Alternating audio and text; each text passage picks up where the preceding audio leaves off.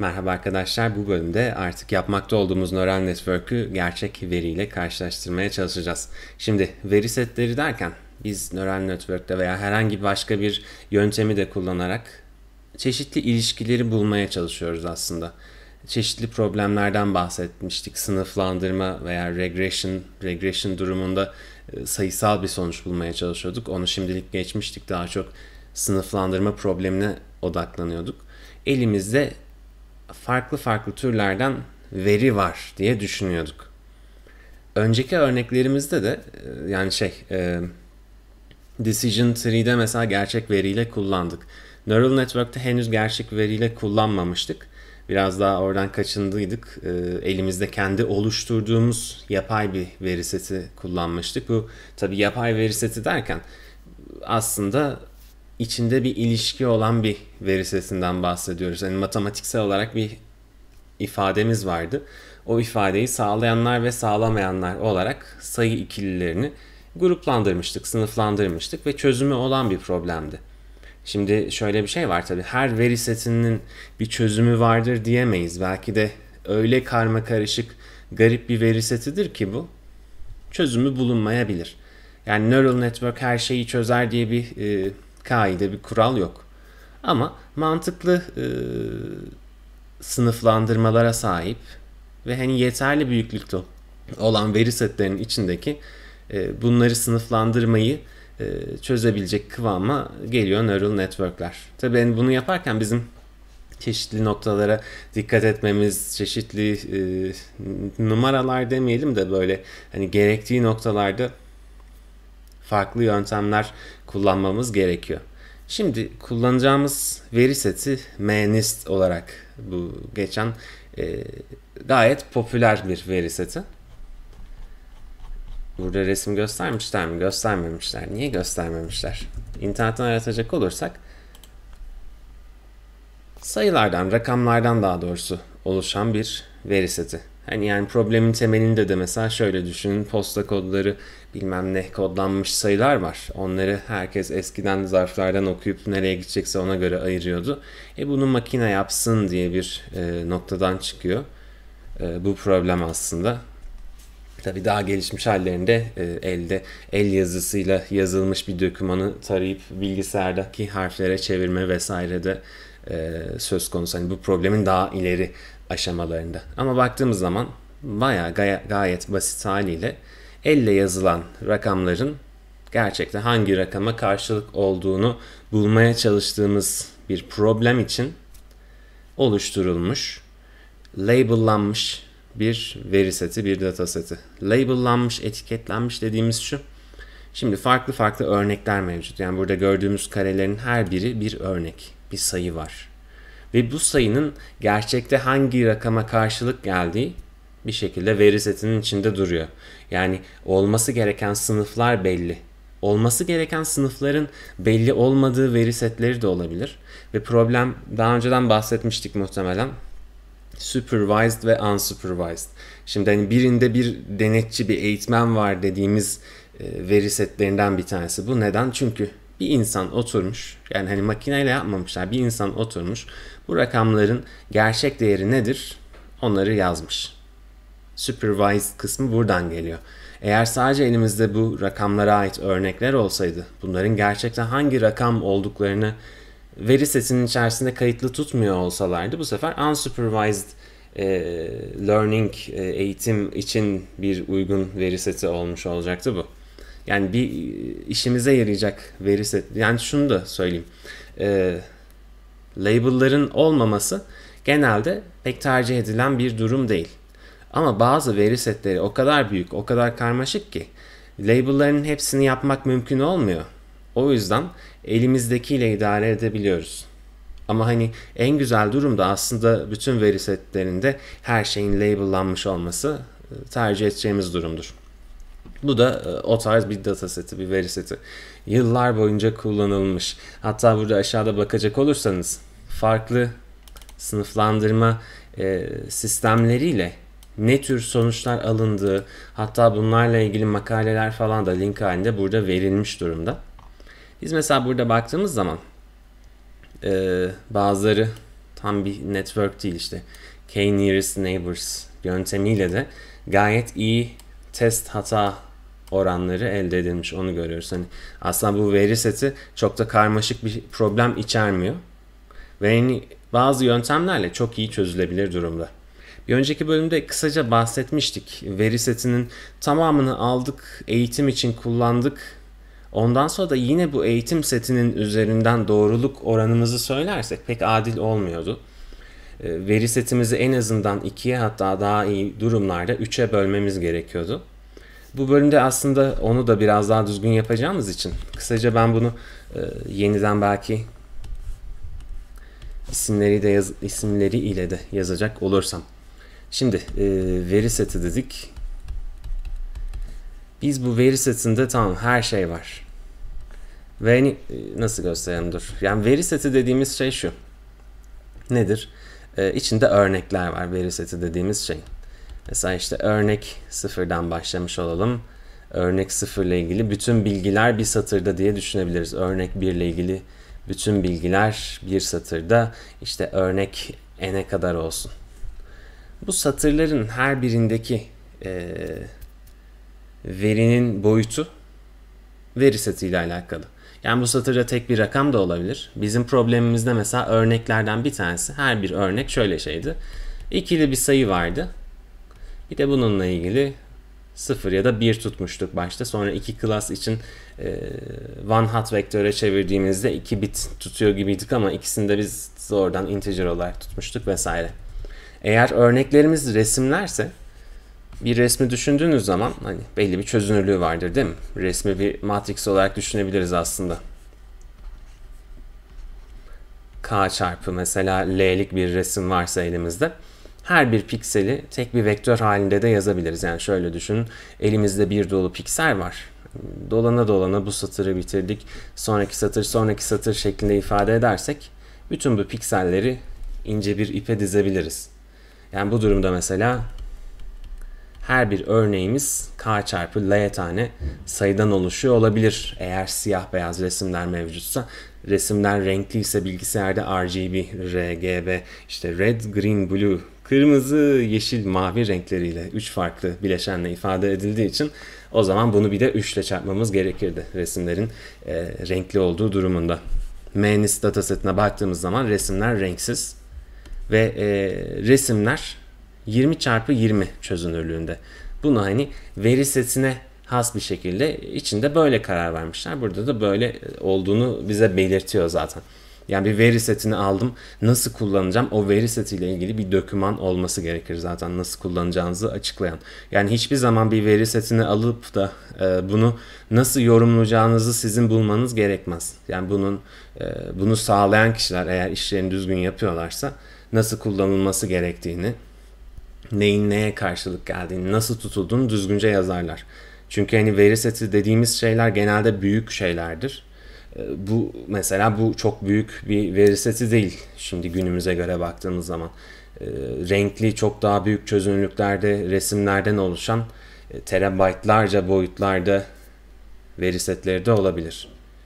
O zaman işin başka bir yanı da e, devreye girecek tabii hani çok büyük bir veri setiyle uğraşıyorsanız siz bunu ne RAM'e sığdırabiliyorsunuz hatta bazen elinizdeki cihazın hard diskine sabit diskine bile kolay sığdıramıyor olabilirsiniz. Böyle bir veriyle karşılaşınca e, işte parça parça bir şekilde alıp bir kısım training eğitimden geçirip sonra başka bir parçaya almak üzere şeyler var. İşte paralel eş zamanlı çalışacak farklı networkler e, o tarz konular birazcık bizim ne diyelim bizim şu anki noktamıza uzak kalan şeyler.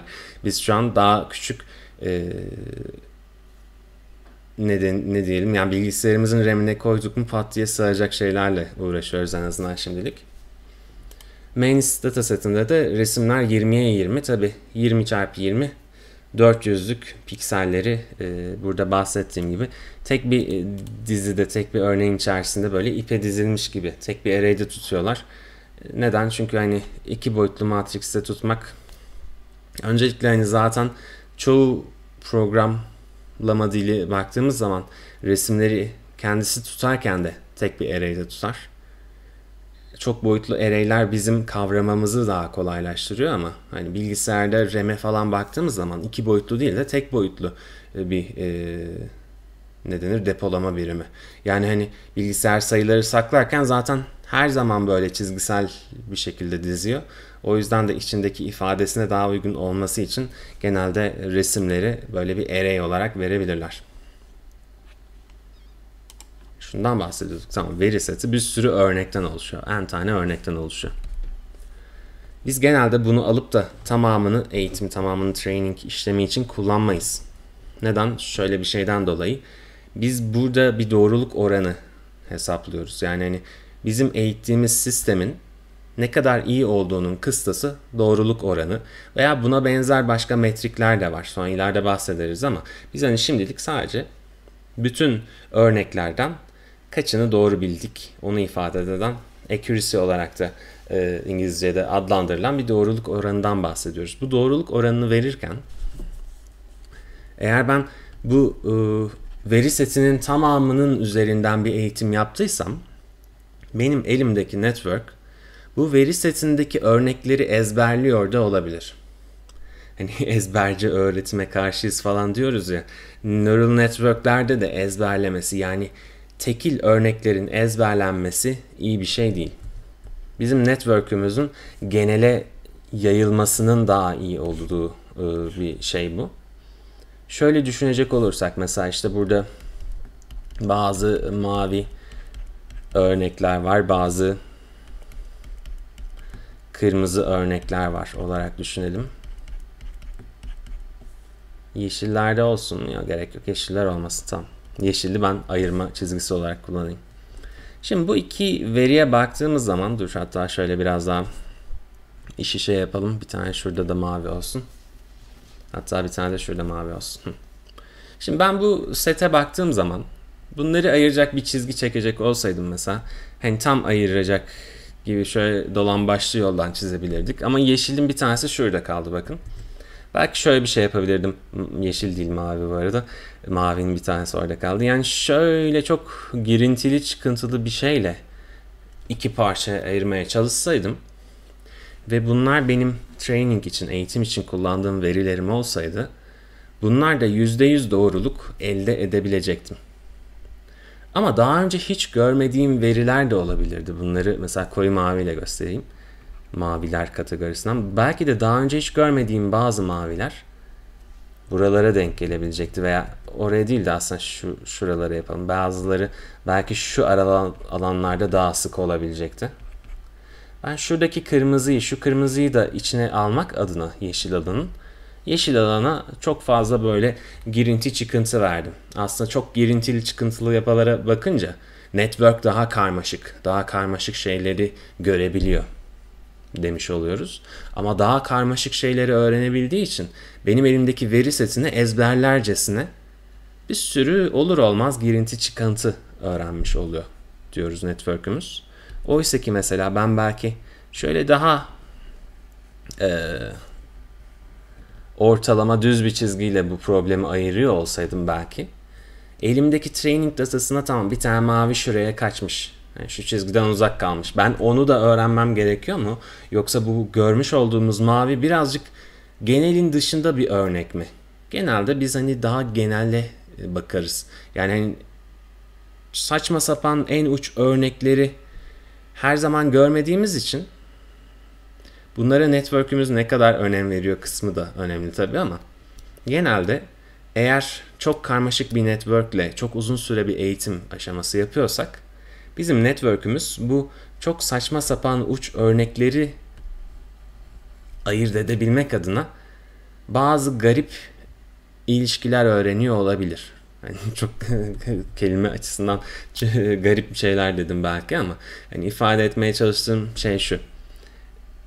Güzel bir çözüm daha basit olan çözümdür. Çok karmaşıklaşmaya başlayınca çözüm genele yayılması zorlaşır. Yani elimizdeki çok spesifik bir örnek setine göre şu yeşil alanı çizmek mümkün belki. Oysa ki ben şu mor çizgiyle ayırdığım takdirde genele daha iyi yayılan, daha iyi e, anlaşılan bir çözüm ola, bir olma olasılığı daha yüksek. Yani hani e, kafamda uydurduğum bir şey değil. Genelde bakmışlar bu şekilde sonuçlanıyor. O yüzden de bizim elimizde eğer veri setimiz tek bir şeyse bu tek bir şeyin tamamını eğitim için kullanmaktansa bunu genelde üç parçaya ayırırlar.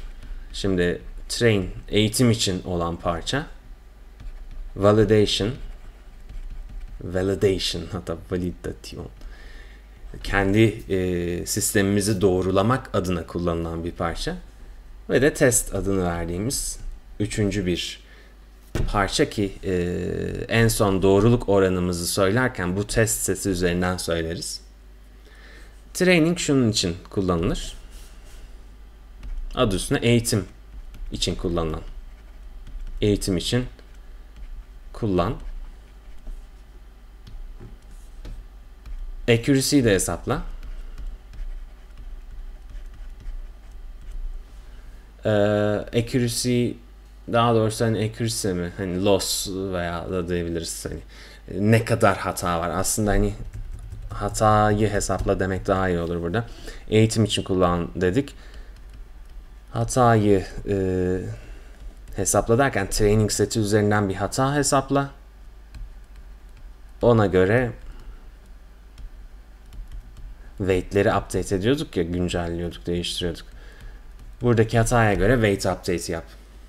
Validation'a baktığımız zaman validation'da yaptığımız iş eğitim için kullanmıyoruz. Validation'ı validation'daki örneklerin ne olduğuna bak bakıp da weight'leri güncellemiyoruz.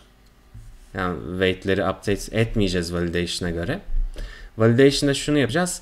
ACC hesapla. Accuracy hesapla. Validation'a göre. Nasıl hesaplayacağız? Tabii validation'dakileri e, tahmin et diyeceğiz. Hani burada böyle bir örnek olunca validation'da tahmin sonucu ne oluyor diye bakacağız. Onun üzerinden bir accuracy hesaplayacağız. Bu hesapladığımız accuracy'ye göre de buna göre ne zaman durmamız gerekiyor veya hangi yönde e, devam etmeliyiz ona karar veriyoruz. Buna göre şey diyelim. Buna göre mesela sistem parametrelerini yani mesela learning rate'tir. Kaç tane hidden neuron kullanıyoruz veya işte biz leaky rally kullanıyorduk. Onun alfası ne olmalı? Bütün bunlara hyper parametre adı veriliyor. Buna göre aslında hyper parametrelere karar veriyoruz. Hiper parametre veya hyper parametre e, seç. Yani biz training'e göre eğitiyoruz. Ama eğer gerçekten problemimiz genele yayılacak bir çözüme ulaşıyorsa o zaman daha eğitim için kullanmadığı bir validation set üzerinden de iyi accuracy'ler vermesini bekliyoruz. Ve bunlardan hangi hyper parametrelere, hyper parametre veya işte learning rate bütün bunlar hani sistem için değiştirebildiğimiz bütün değişkenler hyper parametre olarak geçiyor. Bunlardan hangi kombinasyon için en iyisini veriyorsa validation'a göre seçiyoruz. Artı bir de epoklarımız vardı. Epoklar tam bir hyperparametre değil ama hani e, ne kadar devam ediyoruz veya nerede duruyoruz. Yine bu accuracy'ye göre e, eğitim ne zaman durmalı onu seçiyoruz validation setten. Eğitim ne zaman durmalı? Ona göre yani buradaki accuracy'ye göre karar ver. Yazmadık neyse. Yani validation'ı biz eğitim aşamasında kontrol ediyoruz sık sık. En iyi hangi durumda vesaire ona bakıyoruz. Test seti kapalı bir zarf gibi. Hani bütün bir aşamalar boyunca kenarda bunu tutuyoruz, açmıyoruz. Hani mührü bozulursa hile olur. Bunların hiçbirini testte yapmıyoruz. Testte şunu yapıyoruz. En iyi network e,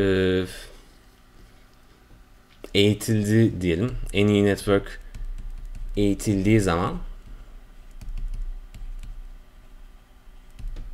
testin accuracy'sini hesaplayacağız. Test accuracy hesapla. Bizim hani e, makale yazdık. İnsanlara bu network bu ayarlarda çok iyi çalışıyor diyoruz. Bu durumda bizim e, başkalarına söyleyeceğimiz skor bu. Skoru e, ne denir? Skor yani bu skor bizim için bir performans metriği. Bu skor performans için.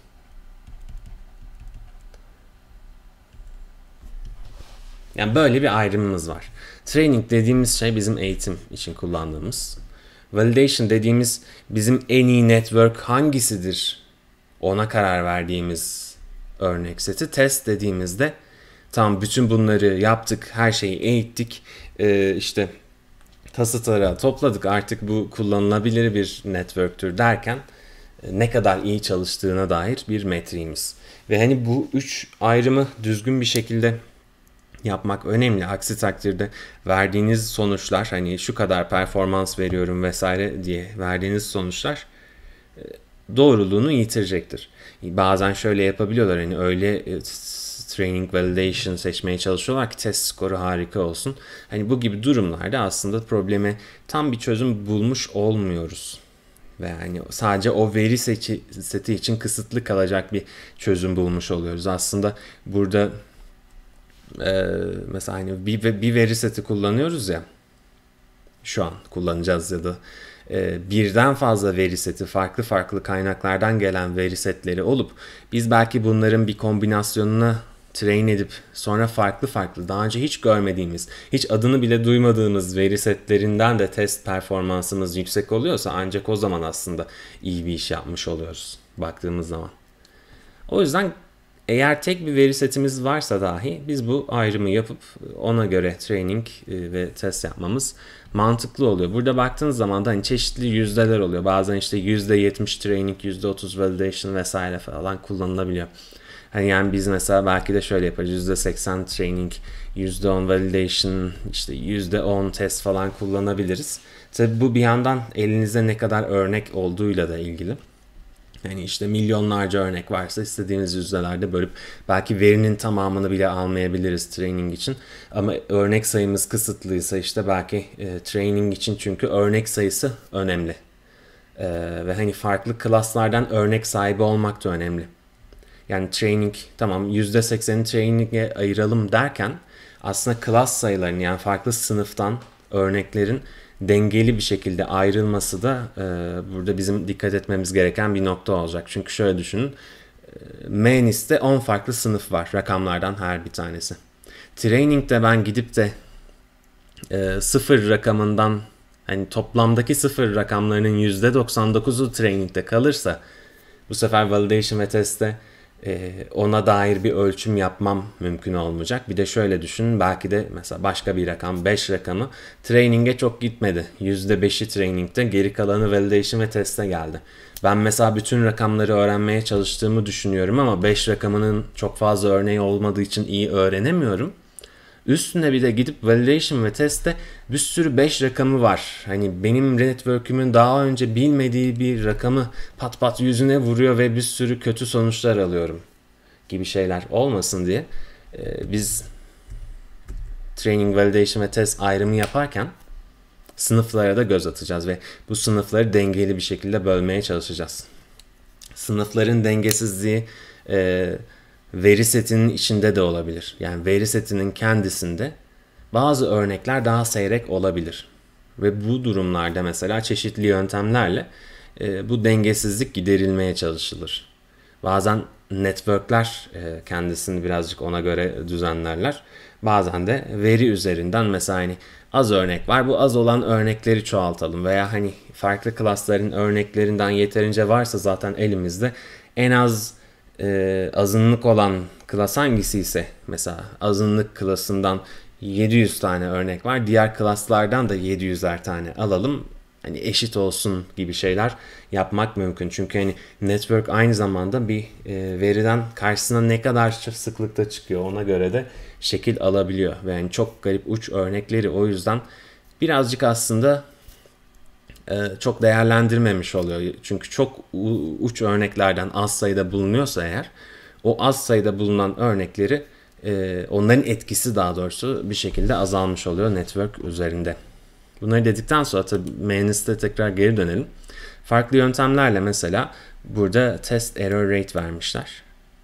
Ama hangi bölmeye göre test dersek de burada baktığımız zaman kendileri test ve training ayrımını yapmışlar MNIS setinde.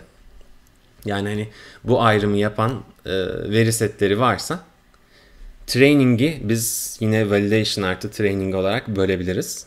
Buradaki testi de biz gidip oradan e, test için kullanırız.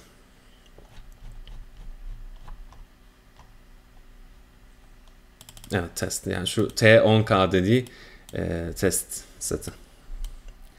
Tamam bir yandan bunları e, indirelim çünkü bunları e, Java'ya alacak bir şeyler yazmamız gerekiyor. Yani bahsettiğim gibi bir veri seti elimizde. Bunu kullanmak için birazcık iş yapmamız lazım. Çünkü bunlar biraz daha ufak yer kaplayacak, paketli olacak halde e, bazen farklı formatlarda kayıt edilmiş şeyler olabilir. Yani hani açınca bunun içerisinden fotoğraflar çıkmayacak. Tamam e, her bir e, 20 çarpı 20'lik rakama karşılık gelen array'ler var. Ama onları nasıl e, import edeceğiz? Onun bilgisi aşağıda mesela burada e, koymuşlar. Image file, e, görselleri okuyarak başlayalım isterseniz. Tabi indirdiğimiz şeyler e, bunlar zipli olarak geliyor. Ben 7 zip programı yüklü e, onunla açıyor olacağım. Şu ikisini e, açabiliriz. Daha önceden bir açmıştım onu sanırım da. Diğeri nerede? Dırırın.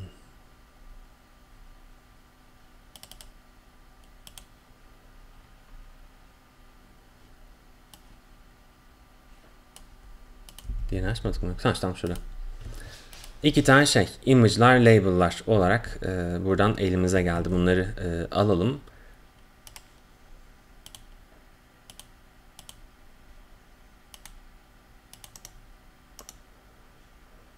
Bizim burada klasörümüze koyalım. Tabii farklı bir yere de e, koyabiliriz. Çok da önemli değil elbette ama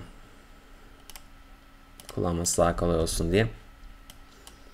Tabii bunları şuralardan çıkartıyor olacağım ben. Hmm, bu başka bir tamam. Şu çıkmayacak işinden. o ben ben bir daha önce başka bir şeyle denemiştim de ona ait bir şey. Yani bir ufak processing programı. Hatta ben bunu nereye koyduğumu arıyordum. Bu bunun içindeymiş. ee, şimdi biz bunları tabi Java şeyi yaptığımız için binary class'ların olduğu yere dizine yazarsak doğrudan e, yükleyebiliyor olacağız. Önce resimlerle başlayalım. E, yeni bir e, class oluşturacağım ben. Buna da mainist yükle diyelim. Hmm, tamam. Şimdi burada yapmak istediğim benim ne? bir tane dosya okumak string string tamam o, o hatayı bir alıyoruz. Neden? Code recommends model falan filan. Neyse boşver. Update istiyordur kesin. Ee, şimdi string e, dosya adı diyelim. Hatta buna resim dosya adı olarak res dos demiş olalım. Çünkü hani resimler ve bunların hangi rakama karşılık geldiğini söyleyen label'lar farklı dosyaların içerisinde. Bir tanesi bu. Uzantısı falan aslında hani şey değil. Böyle bir standart uzantı değil. Yanda IDX3 bilmem ne e, türünden dosya olduğuna bakmayın. Uzantıları gizliyorsanız zaten sadece şu training e, train images'ı göreceksiniz ama hani böyle bir uzantısı da var. Bilinmeyen uzantı olduğu için gösteriyor da olabilir çok emin değilim. Resimleri buradan alırken label'ları da buradan alacağız. Ctrl D burada da olsa güzel olur aslında şeyde e, Visual Studio'da var. Ctrl D'ye basınca o satırın bir kopyası oluşuyor. Elinizde kopyalı şeyi kaybetmeden e, ikinci bir kopya olmuş oluyor yanda gitarın teline bastım başka. E, bu da label'ları aldığımız dosya olacak.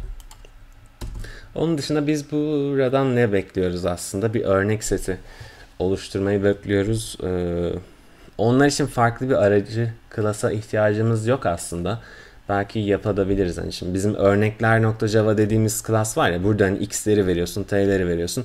Neural network'ümüz de şu an buna uygun çalışıyor aslında. Yani biz burada main'is yükleye bir tane x versek t'yi versek bunun içini doldursa bizim için daha hoş olur. O yüzden ona göre yapmaya da çalışalım. Buraya gelelim. Şimdi burada constructor falan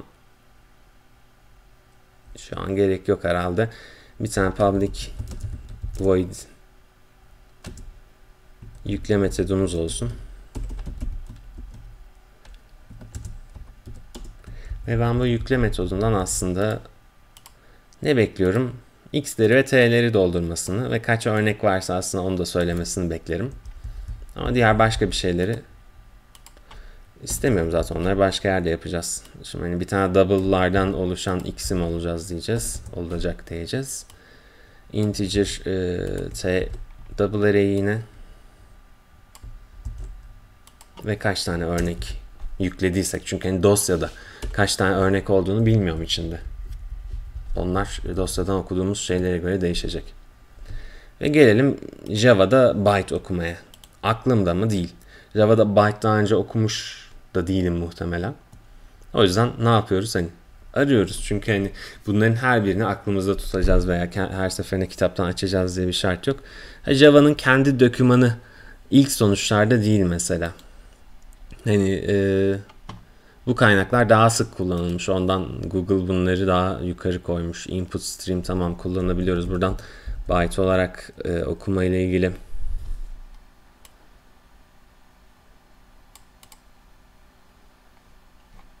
Mesela bu da byte olarak okuyor falan diye diyor. Yani içine byte verirsek input stream'de öyle okuyabiliyoruz herhalde.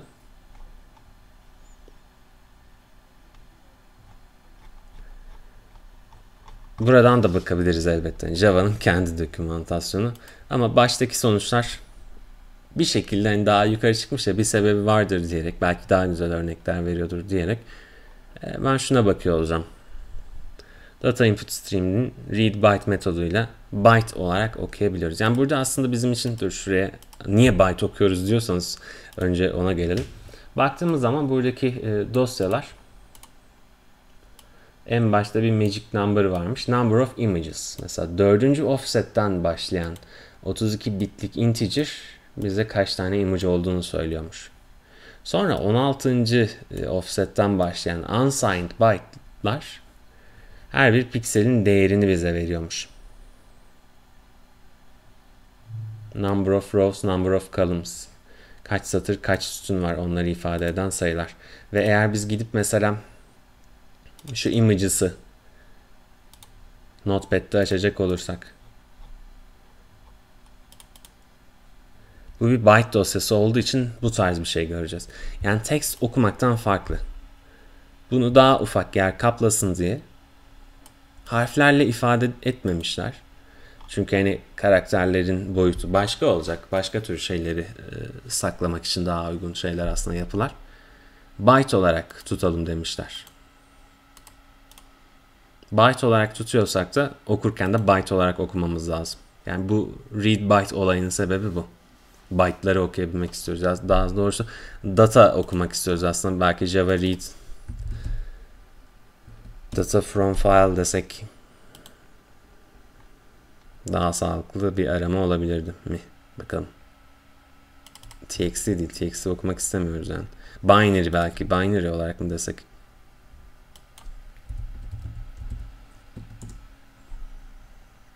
Hı, bu belki daha uygun. Read binary file demiş olmak. Yani tam byte değil çünkü bazılarını integer olarak yorumlayacağız vesaire.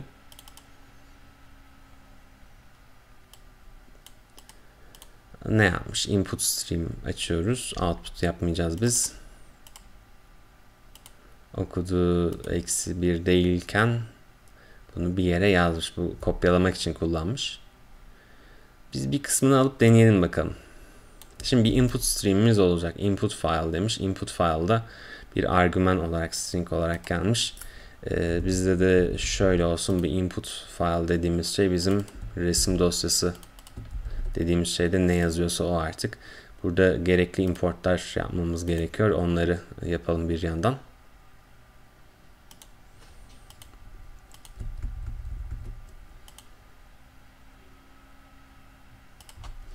Tabi internetten kopyalayınca dikkat etmek lazım bazen.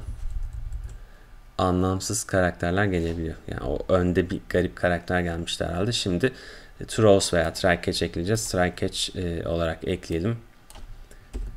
Çünkü dosya bulunamayabilir. Mesela file not found exception'ını otomatik olarak ekledi. Ee, mainis yükleyi bir yerde çalıştırmamız lazım elbette. Basit perceptron denin bunu da adını değiştirelim artık. Bunun içerisinde ben bir tane mainis yükle mn eşittir new mainis yükle diyerek bir objesini oluşturuyor olacağım. mn nokta yükle diyerek de yüklemesini sağlayacağım. Şimdilik bunlara e, null verelim.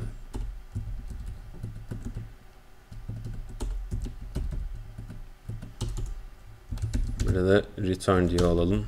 Aşağısını yapmamak için. Tabi burada da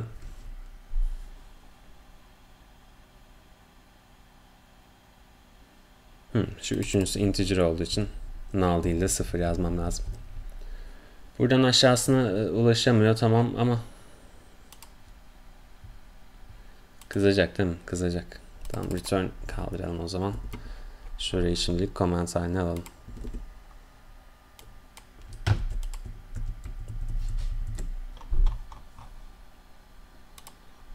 Çalıştırdık. E, hatamızı da aldık. File not found exception. Dosyayı bulamadım diyor.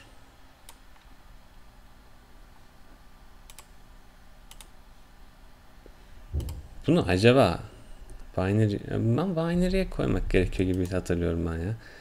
Bizim acaba o anki ana klasörümüz burası olabilir mi diye bir iki tane deneyeceğim. Muhtemelen siz cevabı biliyorsunuz. Abi onlar olur mu şu olacak elbette diyorsunuz belki. Ama tamam gördüğüm üzere bizim ana klasörümüz şu klasörmüş Eclipse'de en azından belki başka şeylerde e, yine binary'lerin yanında bulunuyor olabilir. O yüzden ben şu ikisini alıp e, Eclipse'de şu an çalıştığım ana klasöre kopyalıyor olacağım. En azından dosyayı bulduk şu an. Sıkıntı yok. Ardından dosyada nasıl okuyor diye baktığım zaman e, input stream read'i kullanıyor gözüküyor. E, bir byte read demiş. Byte integer'in içerisine okumuş vesaire. Burada muhtemelen bizim bir, bir şeyleri farklı yapmamız gerekebilir. E, onu kontrol edelim. Ama aslında bizim de ilk iki byte'ımız integer falan filan diyerekten şunu bir şöyle yapalım. Burada sıkıntımız ne? Bu sefer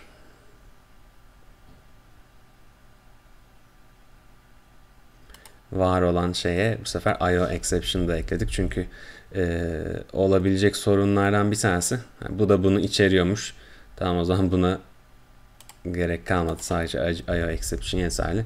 Okurken okuduğumuz dosya bitebilir. Hani, e, ters gidebilecek şeylerden bir tanesi de budur. Şimdi şu byte read'in içerisine ne okumuşuz, ne kadar okumuşuz onu bir e, yazdıralım. Sıfır diyor. Bir şey okumuşuz, içinde sıfır varmış.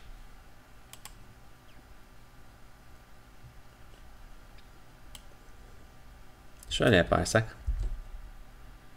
Bu byte read byte'ı okudu mu okumadı mı gibi bir şey mi acaba? Yok onu yazıyor tamam.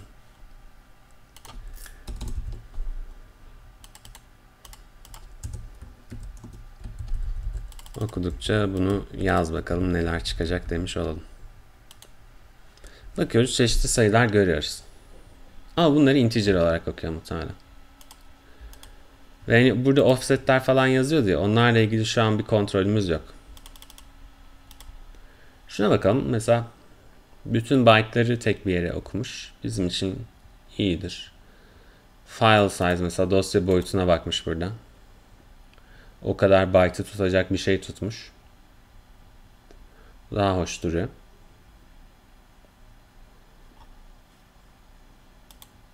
Bir şey demek istiyorum. Şu integer değil de mesela buna byte demiş olsaydık Her şey byte olarak mı yorumlardı? Hayır. Bu e, integer olarak okuyormuş bu. Input stream read dediğimiz şey integer olarak okuyormuş. Tamam. O zaman bizim şu şekilde yapmamız daha uygun olacak gibi duruyor. Input stream'imiz var yine.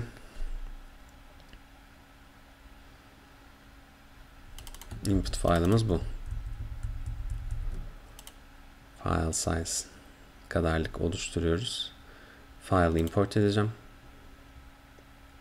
Sonra input stream'im eskisi bütün byte'ları bunun içine oku demiş oluyorum. Sonra da bu bütün byte'lar ne onu tabii görmek isteyeceğim.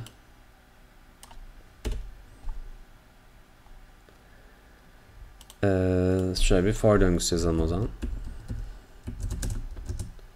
i sıfırdan i küçüktür. Bu sefer yukarıdaki file size bir longmuş.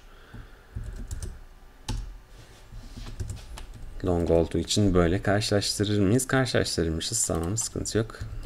All bytes dediğim şeyin içerisinde i'nin i'inci indeksteki byte neyse onu yaz bana demiş oluyorum her bir ayrı satıra. Böyle sayılar görüyorum dosyanın içerisinde.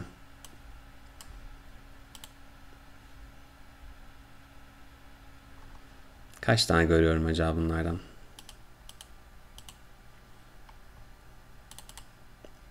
Şimdi buradakilerin bazılarının değerleri belli mesela. Dördüncü offset'ten sekizinci offset'e olan şey number of images. Bu offset'ler de muhtemelen byte cinsinden. Yani 4 ile 8 arasında 6000'i bulacak bir şey çıkartabilir miyiz? Dadadan. Şurada sıfırlar var çok fazla başta. Ee, şöyle bir şey merak ediyorum sanırım ben. Şu for döngüsünü atalım. Bu belli bir aralıktaki byte'ları ben bir integer olarak yorumlayabiliyor muyum? Çünkü şu ilk 4 tanesinin integer olduğunu biliyorum. Şu demin baktığımız yerde biraz daha aşağıya ineyim. Bakayım o tarz bir şeyler yapmışlar mı hiç?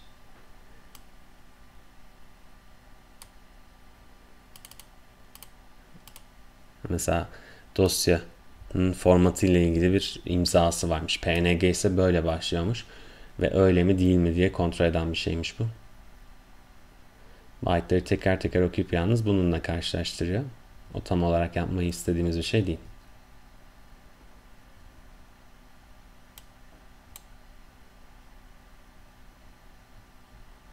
Şöyle arayalım. Hmm. Java byte to int. Ama hani birkaç byte to int. Byte object kullanırsak böyle bir şey varmış gibi duruyor. Ama tam olarak yapmak istediğimiz bu mu değil. Toplasam olur mu acaba? yani dördüncü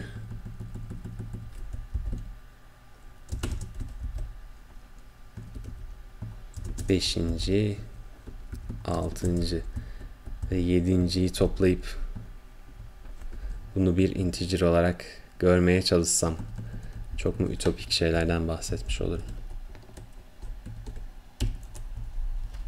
Bu aşamayı beraber yapalım istedim. Hani bunu yükleyecek olan şeyi pat diye yapıp başta hazır olarak da çıkartabilirdim ama e, bu aşamayı beraber görürsek hani e, hani bir veri setiyle karşılaştığımız zaman çözümü pat diye ortaya çıkmıyor. Onu daha rahat görmüş oluruz diye. Bunu okumak en iyisi aslında. E, çok basit bir dosya formatında falan filan. 6000 örnek var. Buradaki offsetlerimiz tam olarak ne acaba?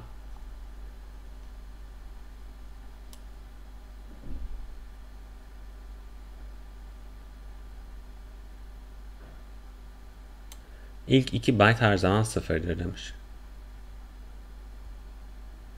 Sonraki byte verinin türünü şey yapar. The third byte calls the type of the data.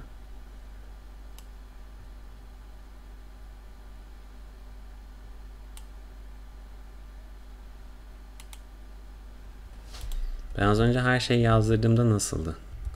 Yani şimdi hani bizim okumakla ilgili bir hatamız olabilir. Yorumlamakla ilgili hatamız olabilir. Bunu çok çalıştırmak istemiyorum.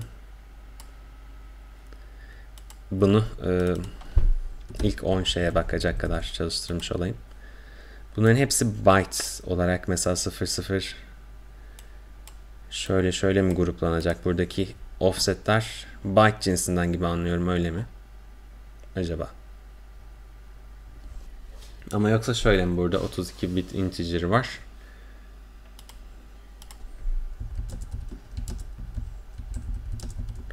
Byte olarak kaçtır? 4 byte'tır tamam. Buraya sığıyor yani byte cinsinden olduğunu düşündüğümüz zaman.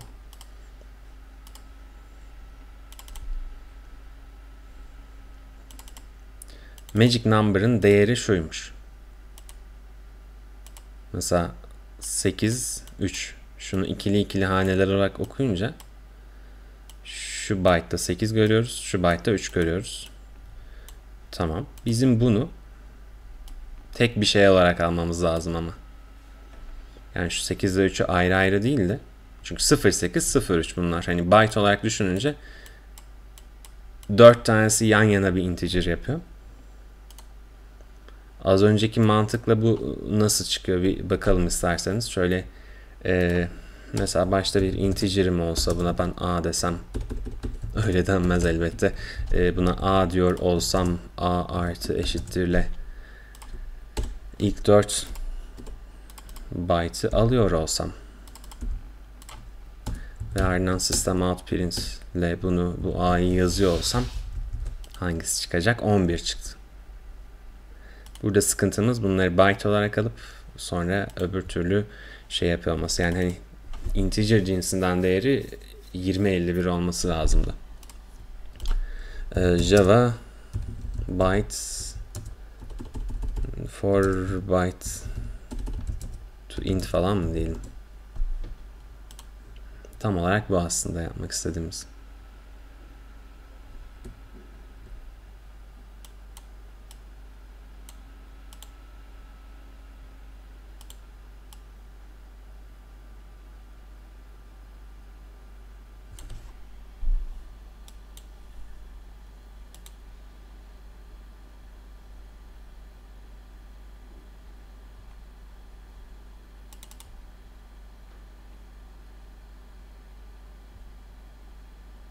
Data input stream read fully. Hmm. Burada ne yapmış? Int olarak okumuş mesela. Read int. Yani böyle bir input stream yaparsa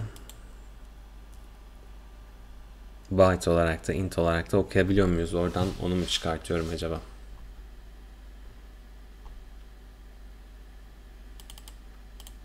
Evet onu çıkartıyorum. Yani muhtemelen sıradaki byte ve sıradaki e, int'i okuyor mesela. Short olarak falan da okuyor. İstediği gibi koyuyor. Hepsini de okuyabiliyor. Ya o zaman bunu kullanalım. Bu daha iyi duruyor. Hani böyle e, alt düzey hesapları gerek kalmaksızın. Get input stream socket demiş. Socketten okumuyoruz biz. Data input stream. Buna ben dosya adını versem de olur mu? Rest dosyası diyerek bu gerekli importları yapalım. Ee, rest input stream.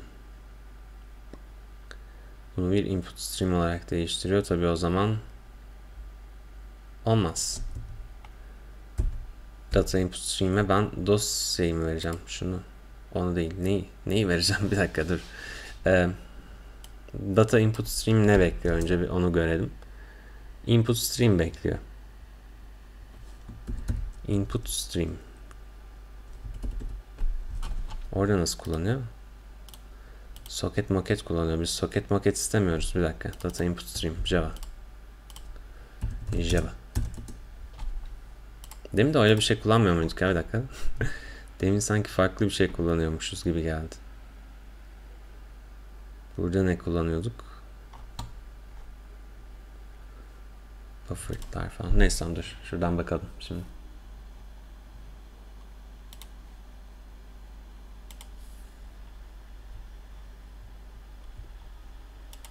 Tamam şöyle. File input stream koyacağım araya.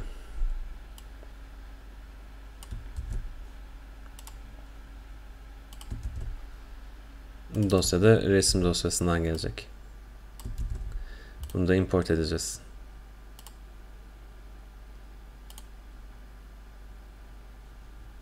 Ve bunun da hmm, buna da nokta şey mi diyeceğiz? Orada bir dakika ya. Orada kullanmıştı sanki böyle. Data, data output pardon. File input olacak o. Output yazmışız bakar kör gibi. Tamam şimdi istediğini yapmış olduk. Şunlara gerek kalmadı. O zaman mesela ilk iki şeyi ben verinin formatından biliyorum ki ilk birkaç şey integer olarak okunmalı. Şurada bakacak olursak. Image dosyasında ilk dört şey integer. Magic number, image number, row ve column e, genişlikleri. Ben buradan şöyle okuyor olacağım. MN değil, MNG kargo. Magic number için. İlk integer bu oluyor her seferinde. öyle bir formatta kaydetmişler çünkü. Sonra okuduğum şey aslında örnek sayısı. Ama hmm, bu integerler pass by value'ydu. Değildi pardon. Yani hani buraya bir integer geldi. Tamam. Pass by value oluyor. Ee, onun sayısal değeri kopyalandı. Ben onun içini burada doldursam işime yaramaz. Hani böyle konular vardı ya bunlar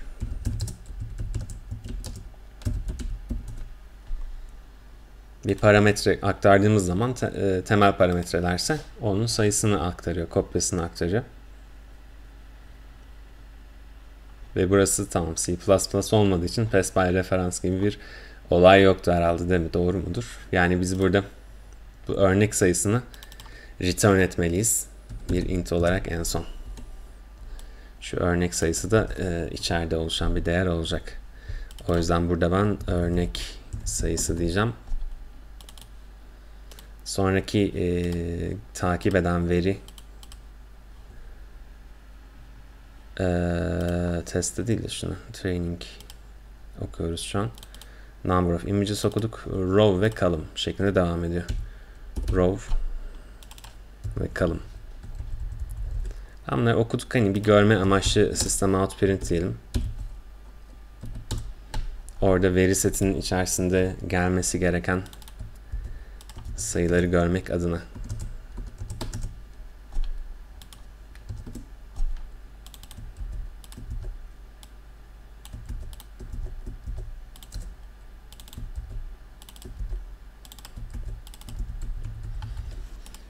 Tabi burada da bir e, integer return ediyor. Integer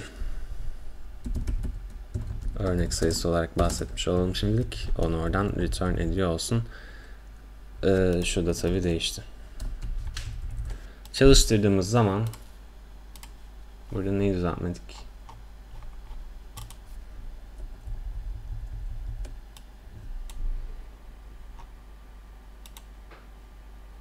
Şu tamam.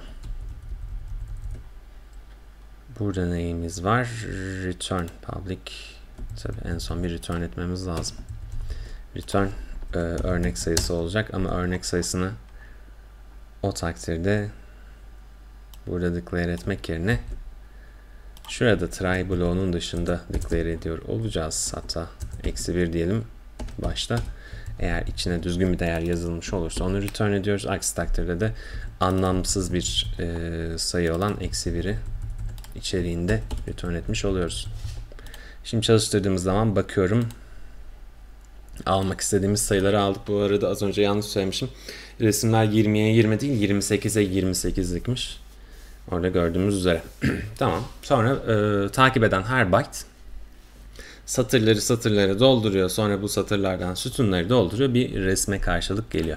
Tabi bizim bu resmi bir şekilde e, görüp denememiz mantıklı bir şey. E, şimdi row ve kalımlarımız var. Burada bakıyoruz öncelikli olarak hangisini yazdırmışlar. Bir yerde e, onu da yazması lazım. Row falan diye aratırsak Order diyelim. Ne, ne sırası? Order geçmiyor hayret. Major bir şey major.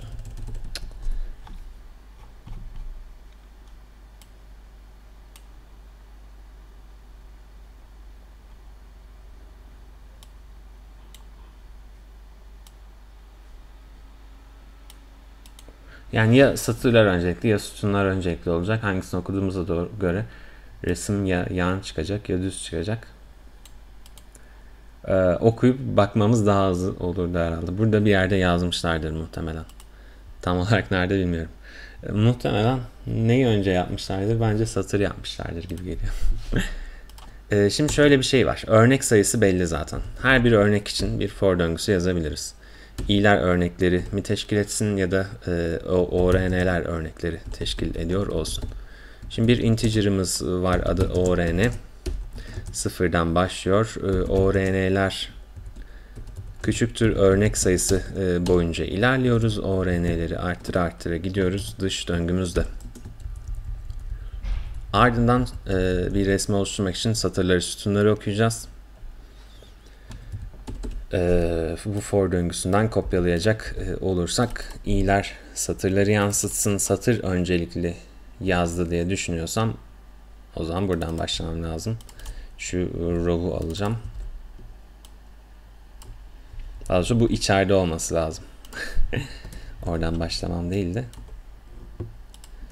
Yani bakacağız tabii hangisi bilmiyoruz.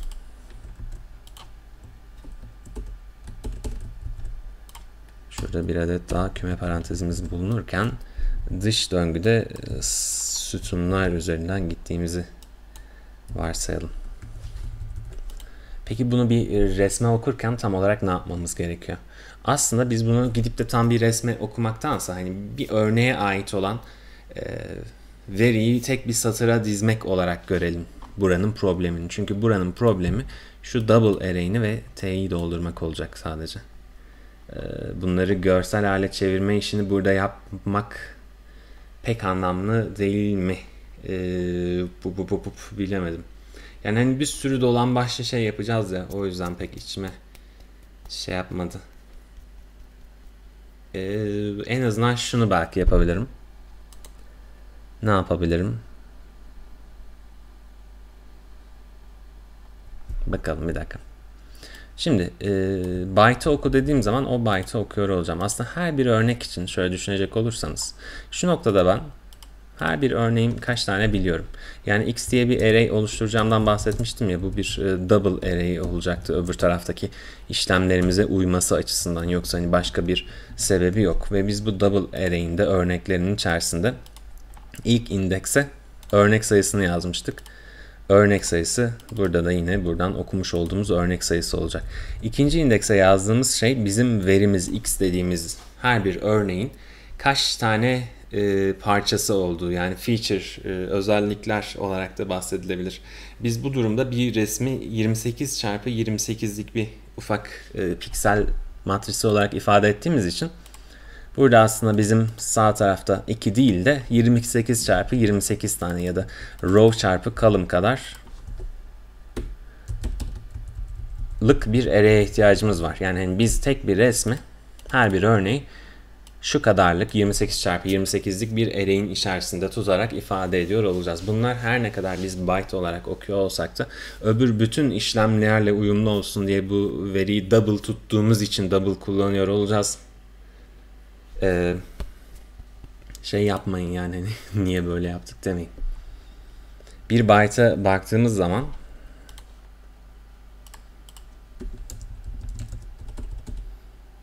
hatta dur şöyle bunlar unsigned byte'lar. Ee, acaba şurada read unsigned byte da var mı? Ona bakalım öncelikle. read unsigned byte da var tamam. Yani byte ufak bir şey. Byte'ın içerisine çok şey sığdıramazken hani bu da bir sayı. içinde sayı tutabiliyor. Negatif pozitifini tutabiliriz veya hani bunlar işaretsizdir diyerek e, aralık aralığımızı arttırmamız olası. Şöyle unsigned byte diye şey yapacak olursak hani bunun ne kadarlık boyutta şeyler tuttuğunu da görürüz. Sıfırdan 255'e kadar sayıları tutabiliyor unsigned byte işareti dahil etseydik yine aynı genişlikte bu sefer eksi 128 ile artı 127 arasında tuttuğu yazıyor. Yani biz aslında pikselleri tutuyoruz her bir byte'la.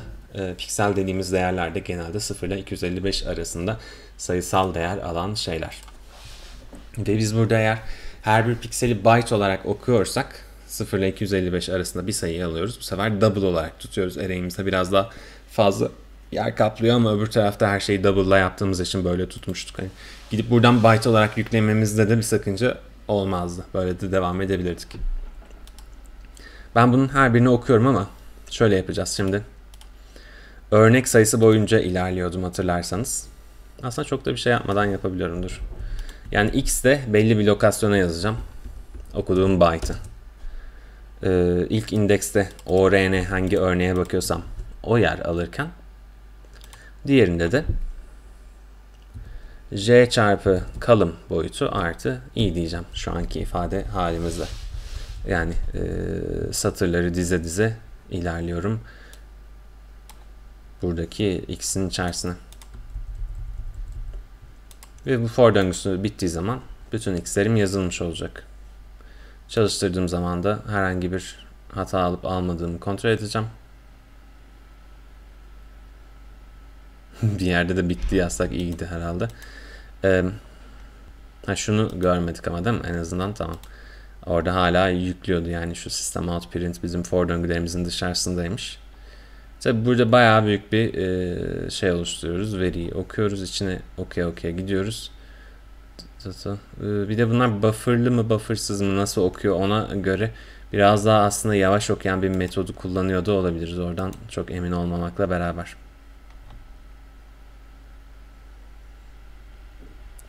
Örnekleri okudukça yazıyor olabilirdik. Belki hani şunu okudu, bunu okudu vesaire gibisinden.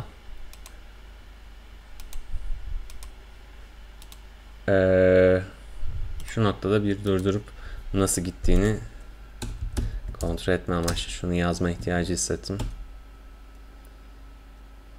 En azından o kaçıncı örnek okunuyor onu bir ekranda görüyor olalım.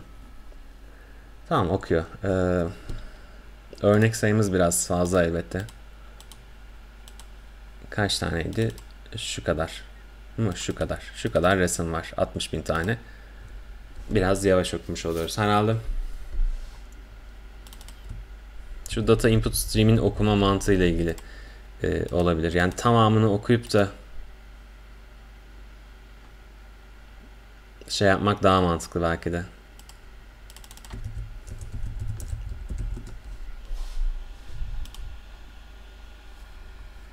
Bakalım.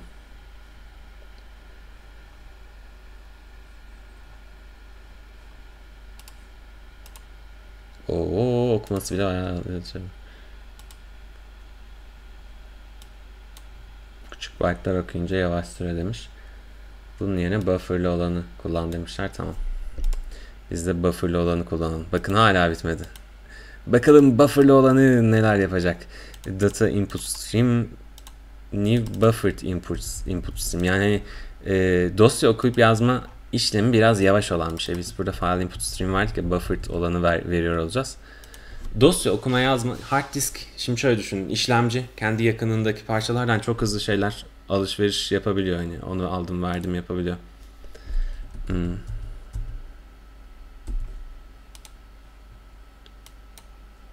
Buffered input stream'i şöyle mi yapacağız? New data input stream data input stream buffered input stream işlemci kendisine yakın olan şeylerden çatır çutur alıp veriyor, e, yüklüyor, şey yapıyor. RAM'den daha hızlı alıyor falan. Yani şey e, hard diske kıyasla.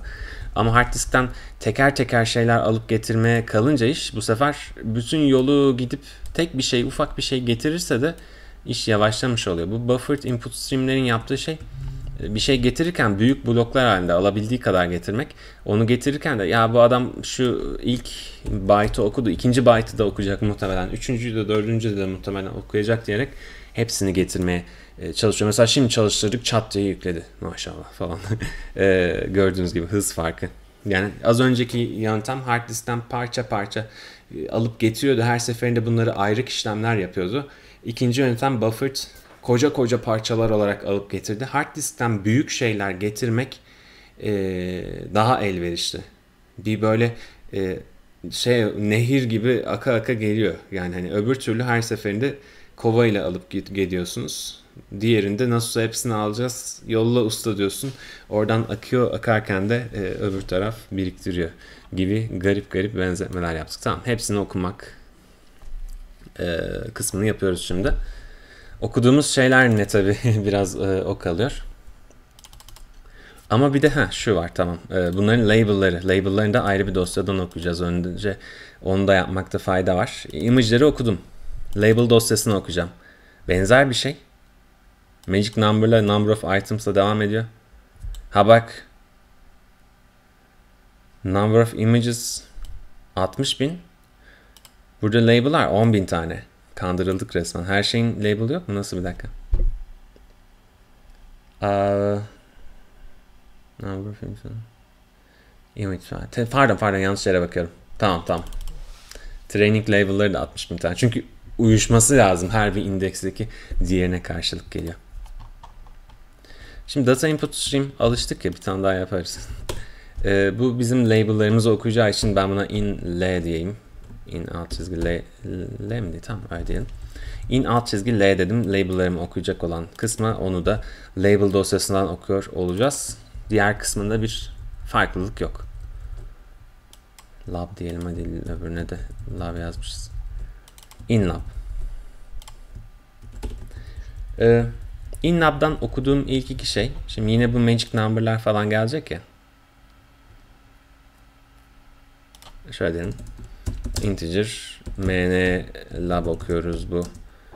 Ee, buranın ilk integer'ını okumaktan geliyor.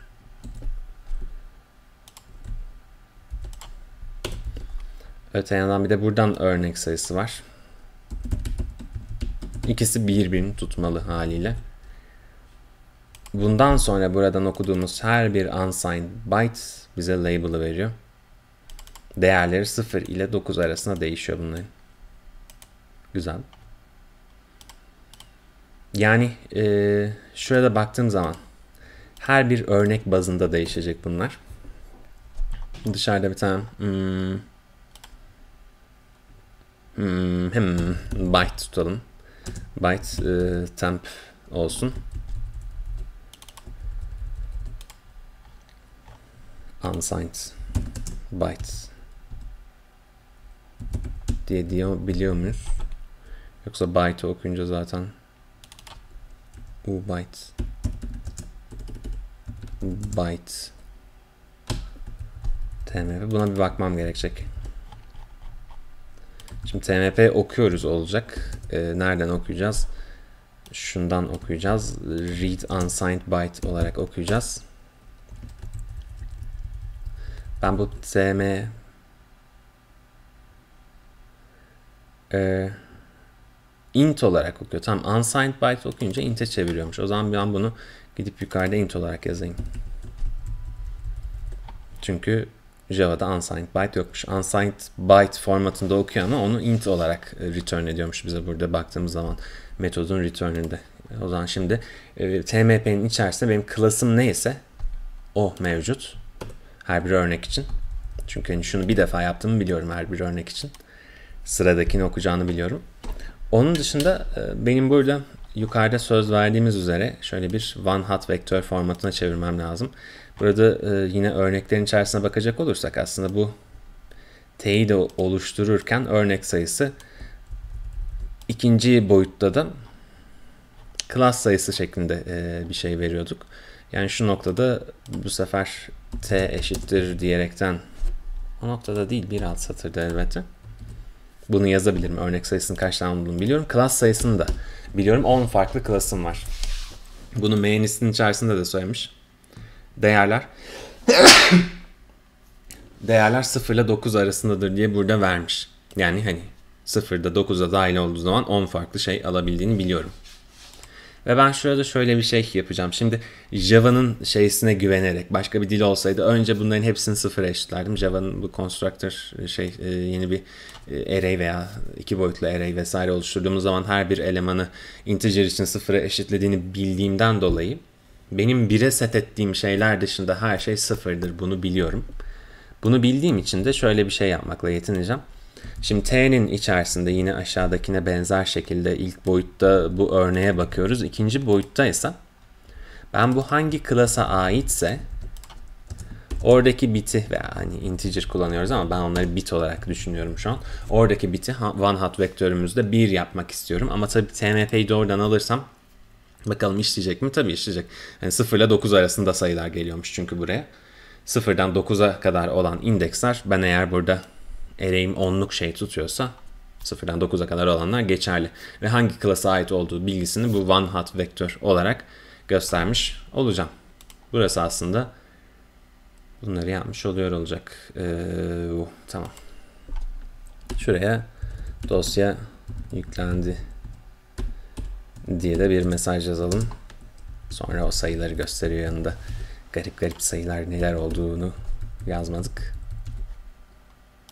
Örnek sayısını return ediyor. Diğer kalan şeyler de bizim burada içinin dolmuş olmasını beklediğimiz şeyler x ve t'ler.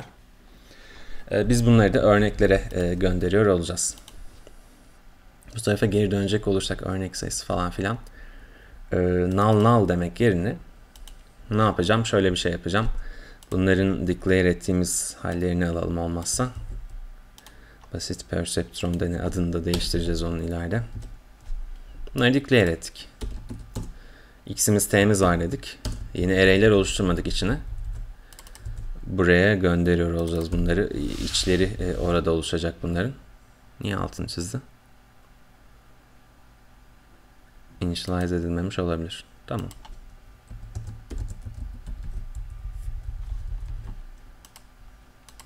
Örnek sayısı da bize buradan e, geliyor olacak zaten. Biz bunları örneklerin içine aktaracağız. Örneklerin içerisinde boş constructor'la e, kendi mantığına göre sayılar oluştur vardı. Ama burada ben bir tane daha bir constructor ekliyor olacağım. Örneklerin içerisine. Bu halinde hazır alacak.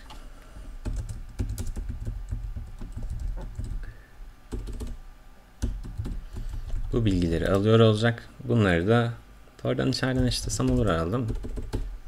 This nokta x eşittir x desem bunun içerisine tutmam şart değil herhalde.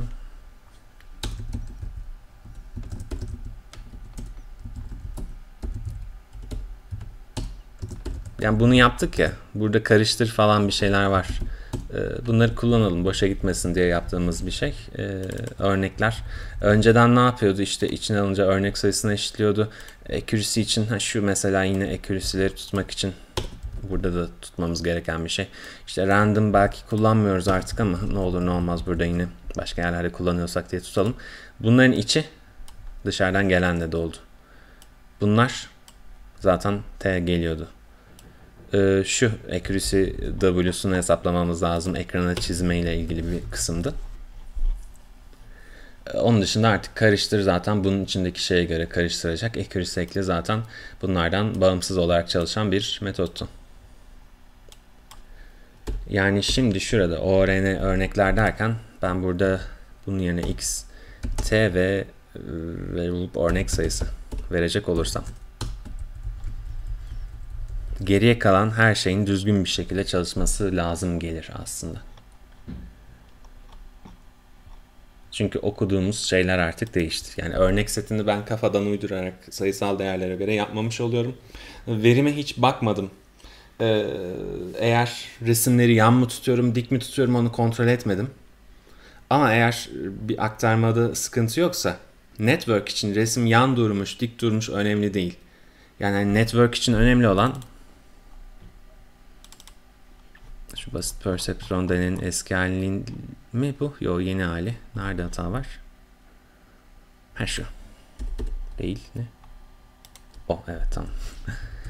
um, yani resim yan durmuş, dik durmuş. Network için önemli değil. Ve şu da önemli değil aslında. Resmin piksellerini düz bir şekilde mi alıyoruz yoksa aralardan farklı karışık mı alıyoruz? Her seferinde aynı şekilde, aynı yaklaşımla alıyorsak o da network için çok önemli değil.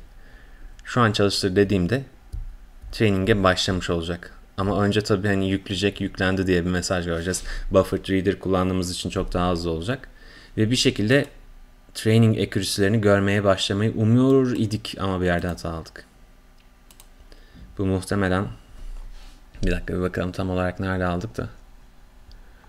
Neredeyiz? Basit perseptron denedeyiz. Ha şöyle bir sayı yok pardon örnek örnek sayısı. Örnek sayısı. Set etmiyor muyuz örnek sayısı? Örnekler örnek sayısı. Örnek sayısı. Örnek sayısı. Örnek sayımız kaç ki bizim yazalım bir.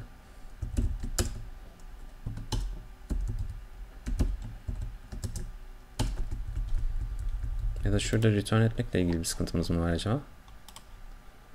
Return örnek sayısı diyoruz. Örnek sayısı, örnek sayısı, örnek sayısı, örnek sayısı. um, bakalım. Ne yanlış şey biraz. 60 bin.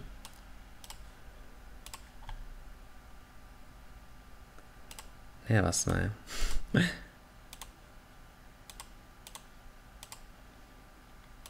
Burada null pointer yedik. X'te oralara varamadık. Çünkü ORN nokta X'te ORN'in içerisinde X'te buna eşittir demiştik. Oradan geleni almıştık falan aslında ama bu array'leri benim kopyalamam mı gerekiyor o zaman? Ben buradan onu mu çıkartmalıyım?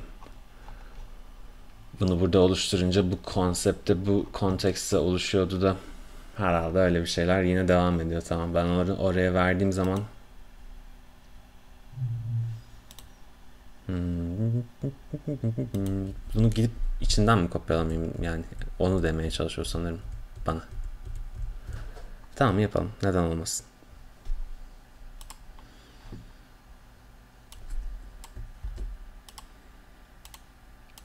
Şimdi bir x orada var, bir x burada var. Da da dan.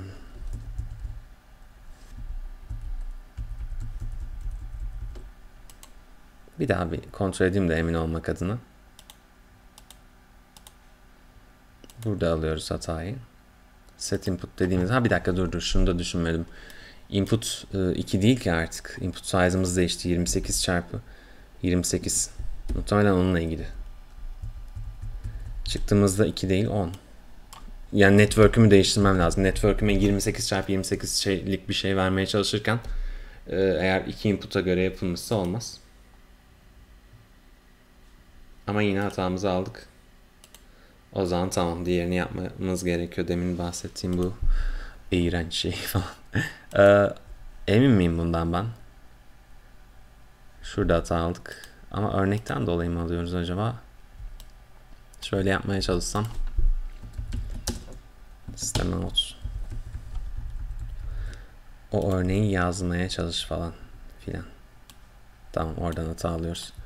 O zaman ben bu array'leri kopyalayacağım.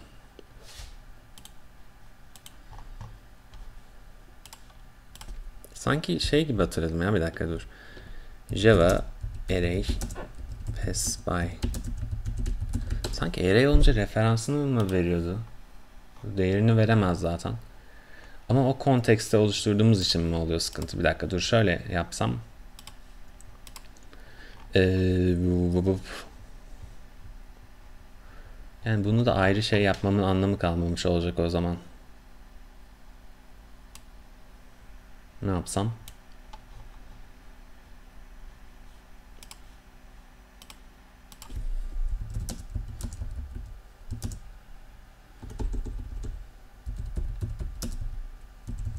Global bir şeyler yapmaya çalışsam mesela.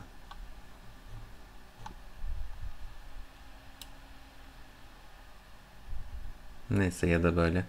Tamam ya genelde şey oluyor böyle. Garip çözüm yöntemleri uğraşırken en kolay çözümün zaten yapmam gereken en başından beri aklımda aklımda olan şey olduğunu fark ediyorum genelde. Biz onu yapalım yine. Ya da şöyle yapsam. Bu olur herhalde ya dur. Şimdi şurada ben aslında ne kadarlık olmaları gerektiğini biliyorum ya. şu kadarlık olmaları gerektiğini biliyorum ya aslında. Yani diğer taraftan okuduğum bilgiye dayanaraktan. Direkt öyle yazayım. Çünkü hani bu sadece şu an MNIST için çalışması gereken bir şey. Tembelliğin gözü kör olsun diyerek bunları buradan alıp 60 bin örnek olduğunu biliyorum ya. Hani dosyadan burada da okur yazardım ben onları. İstiyorsanız öyle de yaparız. Fark etmez. Ama zaten biliyoruz sayıyı şimdi ne gerek var. 60 binleri buraya yazmış olayım. 10 klas olduğunu falan biliyorum.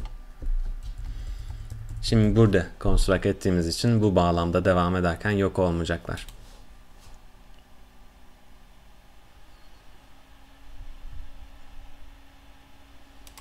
Burada ne görüyorum ben?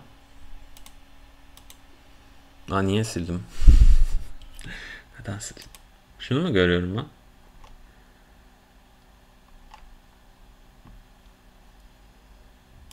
Bir dakika. Okuduk dur.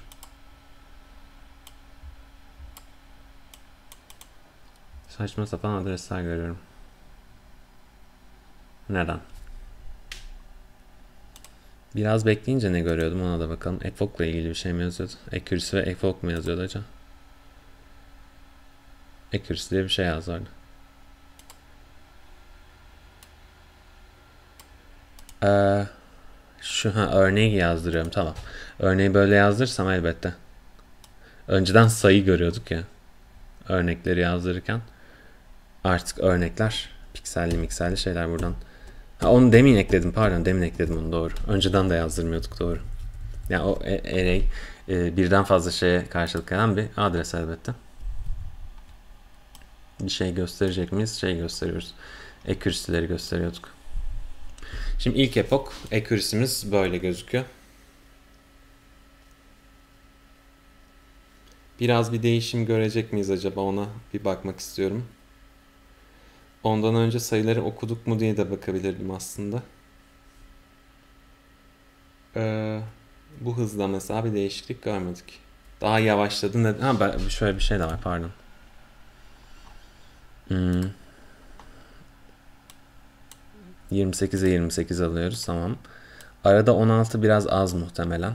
16 ona direkt indiriyoruz. Mesela 32 olsun. Learning rate'i şöyle tutalım. Biraz daha hızlı olsun ama bir noktada hala şunlar düzgün okundu mu okunmadı mı diye hala kontrol etmedik. Onu bir, bir yerde bir görmek istiyorum aslında ben öncelikle. Ne yapsak, ne yapmalı, ne etmeli? Şöyle yapalım.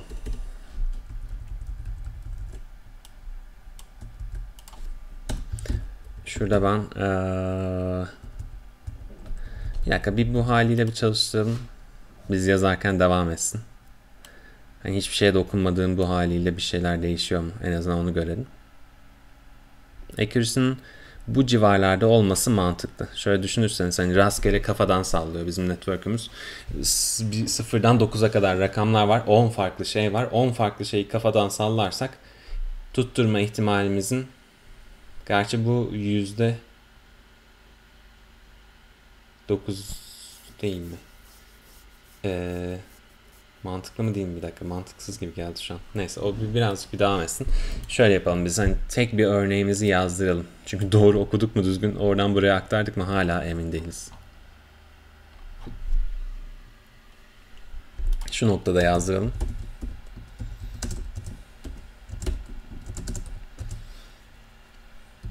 Tek bir örnekte 28 çarpı 28 şey olduğunu biliyorum. İyi arttıra arttıra gidiyor olalım. Bunu ekrana da çizebiliriz aslında bir dakika. Ekrana çizmek mi daha kolay yoksa? Hadi ekrana çizelim. Ama hangi örneği ekrana çizeceğiz? Tamam ilk örneği ekrana çizelim. En azından bunların içinde sayı olduğunu görelim. Sonra bir, bir şey daha yapacağım. Hani şu an zaten çalışmasını düzgün beklemiyorum ama Şurada Paint metoduna geldim. Paint metodunun içerisinde şöyle bir şey yapıyor olalım. Yine böyle bir e, döngüyle gideyim ama az önce yazmaya çalıştığım 28 çarpı 28'lik şeyin üzerinden geçmek burada bulunuyor olsun. Color set ederek e, dolu dolu rectangle'lar çizmek istiyorum aslında. Bunu çizerken de i'inci indekse bağlı bir şekilde e, bu dikdörtgen tam olarak nerede olmalıymış ona karar, karar vereceğim ama e, şöyle gitmeyi ben genelde daha kolay buluyorum i'ler, j'ler, hani satırlar, sütunlar, piksellerimizin olduğunu düşünürsek hatta önce satırı e, okuduk sonra böyle yaptık ya öyle düşünmüştük. i'yi yine içe alıyor olalım. Bu arada hani çok bir değişiklik olmayacak gibi gözüküyor. Okumakla ilgili bir hata da yapmış olabiliriz. Az sonra bir şey de değiştireceğim zaten. Onunla ilgili e, karşılaştığımız bir sorun da olabilir ama Şimdi color'ımızı set ederken şöyle diye, diye, diye hocam. New color. Color. Set color. Color kardeşim. New color. Yeni bir renk oluşturuyor olacağım. Burada mesela ne bekliyordu? Integer ile oluşturursam. Evet, bu bitlerle şey yapıyorum. Böyle yapmam daha kolay olacak. 0 ile 255 arasında sayılar bekliyor. Benim okuduğum sayı da ORN'den okuduğum sayı olacak. Şöyle diyeyim hani ORN'den ben bir tane double okuyor olacağım. Onunla ilgili bir sıkıntı da kaynaklanıyor olabilir elbettedir. Ee, çoğu sıkıntı olmaması lazım gerçi. Şimdi ben bir double okuduğumu düşünün. Neyin içerisinden okuyorum? Bunu x'in içerisinden okuyorum. Hangi örnek için okuyorum? İlk örnek için okuyor olayım. Ee, peki hangi şeyde olsun? diye baktığımız zaman tamamen şurada yazmış olduğum nasıl okuyorsam o olacak aslında. J çarpı kalım 28 yani. Artı i hangi değer aldıysa oradan okudum. Oradan okudum bu D'yi e, siyah beyaz bir şey olduğu için rengi belirlemek için üçüne de DDD dedim. Bunlar double elbette. Double olduğu için e, ne diyorsun falan diyecek. Ben bunları integer olarak koyuyor olacağım typecast ediyor olacağım. Koyuyor olmak nedir integer olarak. Şimdi peki bu rectangle'ı tam olarak nereye çiziyorum? Aslında benim e, ekranımı düşündüğümüz zaman ekranı tamamına da çizmem şart değil aslında. Küçük bir yere çizsem olur. Yani her birinin genişliği kaç birim olacak ona karar vermem gerekiyor da. X tarafında 10 çarpı i Y tarafında da 10 çarpı J demiş olalım. Hani boyutu çok da önemli değil. Birazcık 10 demiş oluyorum. Genişlik yüksekliklerimde 10'a 10 olmuş olacak bu yüzden. Her seferinde ilk örneğimizi ekrana çiziyor olacağız. Fakat başlattığımız anda en başta çizemediği için bir hata verecek mi? Vermedik tamam. Gördüğümüz elimizdeki ilk şey buymuş yani. Karıştırdık bak arada karıştırdığımız için bu sefer elimizdeki ilk, ilk örnekte değişmiş oldu. O da hoş oldu. Dik okumuşuz, okumuş olduğumuz yön düzgün duruyor. Onun dışında bir de şeyden de bahsetmek gerekirse e, sayının dolu olduğu yerler beyaz yani 1'e daha yakın değil 255'e daha yakın sayılar yerler. Siyah olan yerlerde 255 değil de 0'a yakın olan yerler. Peki ne yanlış gidiyor? Neden ekürsümüz değişmiyor? Onu bir şekilde çözmeye çalışalım.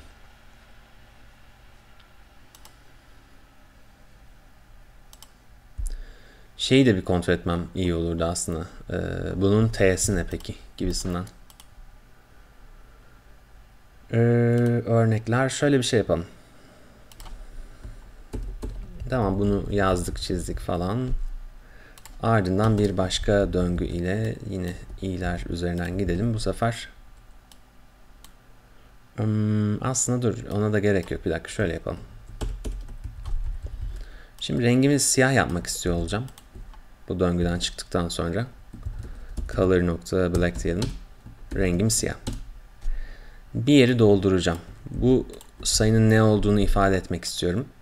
Şimdi yukarıdan baktığımız zaman 11 yani J'miz pardon 28 tane gidiyordu. 28 olmuyordu ama mesela şöyle yapabilirim. J açısından 28 çarpı 10 dersem yani bu kadar aşağı indim. Yukarıdaki resmin aşağısına inmek istiyorum. Yani buradaki temel yapmaya çalıştığım şey bu. T'lerden hangisi dolu onu bulmam lazım. Hmm, hmm. Yine for döngüsü yapalım tamam. O kadar şeye gerek yok. O kadar kafa yormaya gerek yok. Yine bir for döngüsüyle her bir t'nin üzerinden gidiyorum. 10 tane t var. Onu biliyorum. Eğer if diyelim t'de sıfırıncı örnek için bakıyorum yine. i'inci indeks eşit eşit sıfırsa bu klastan değildir. Bu durumlarda e, rengimi beyaz yapıyorum. Ama orada bir 1 görüyorsam eğer diğer durum söz konusuysa siyah yapıyorum. Yani hani benim yapmaya çalıştığım şey hangi klasa ait onu bir şekilde göstermek istiyorum ekranda. Gösterirken de kare kullanıyorum. Kare kullanırken de yine ona onluk mu olsun biraz daha geniş bir e, siyah dikdörtgen kullanıyor olayım yukarıyla düşünce 280'de 10'a böldük 28 oldu gibi bir şey yapabiliriz. Şimdi çalıştırdığım zaman T'leri de doğru okumuş muyum label'ları onu görüyor olacağım. Tam da göremeyeceğim ya. Burada bir garip bir şey göreceğim ama. X, Y.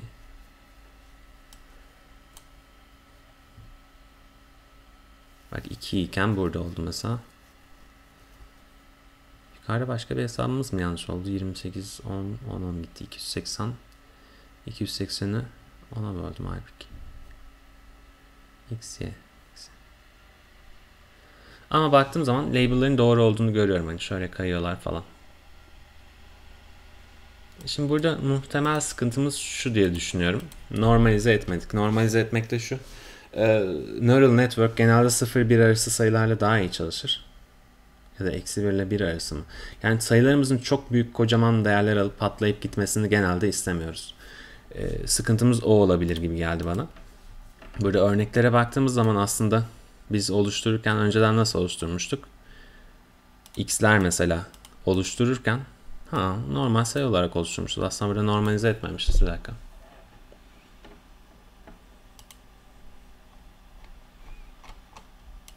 Hmm.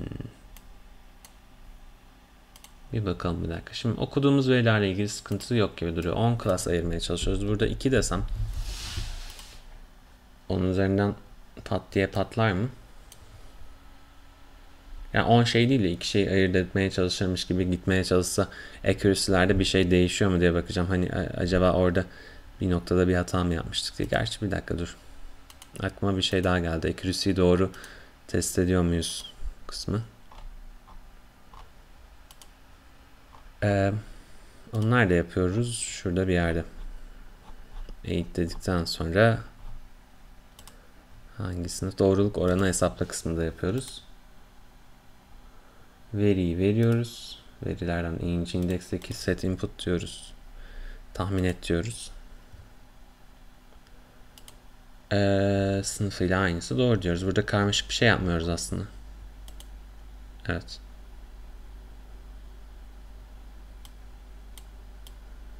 Şunu yeniden 10 yapalım.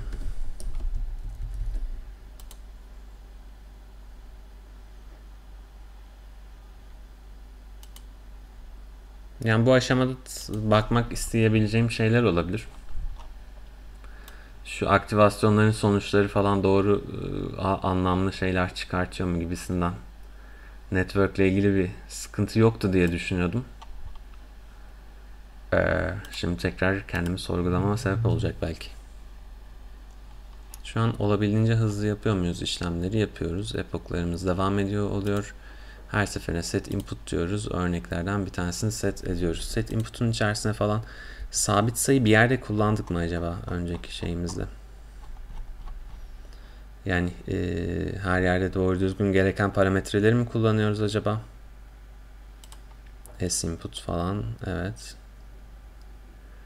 Diğerlere geçici olarak yazıp da kal kalan bir sayı var mı diye hemen hızlıca kontrol edeyim. Pek zannetmedim gerçi şu an. Karıştırdı böyle şey yapıyor muyuz acaba? Geçici yöntemlerimizden şunlarda falan sıkıntı olmasını bekliyor muyuz? Pek beklemiyoruz aslında. Evet. Accuracy'leri ekleyerek ilerliyoruz. Evet. Şu tahmin et diyoruz ya. Hmm.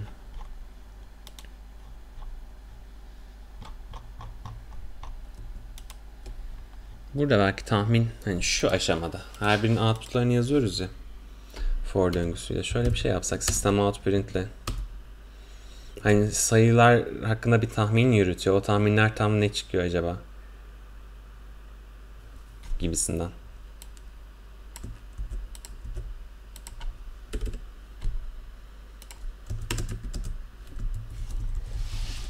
Bunu tabi her tahminde yaptığımız için bir sürü garip garip şeyler de çıkabilir.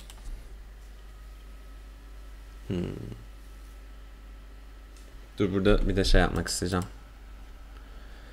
Ee, döngü bittikten sonra şurada bir tane sistem out print elen olsun. Alt satıra geçsin. Hmm. Hep aynı klas olduğunu düşünüyor. Bu da şundan mı? Bir dakika. Şeye bakalım. Durduruyorum şimdi. Şu normalize ettiğim kısmı bir atacak olursam. Dur orada yazdırıyorum ama orada tamam. Şunu yapmasam sadece yani.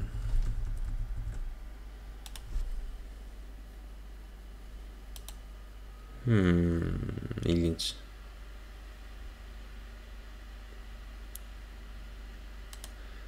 İlginç. Bir dakika dur ne yapıyorum ben? Toplama output. Bunu buraya bölmüştüm. Onun dışında output'u başka yerde değiştirmemiş olmam lazım. Sigmoid'den geçmiş halleri var.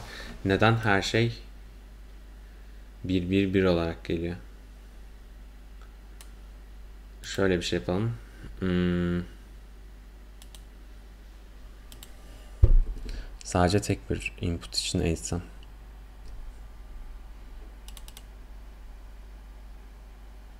Bir dakika bir dakika dur dur dur.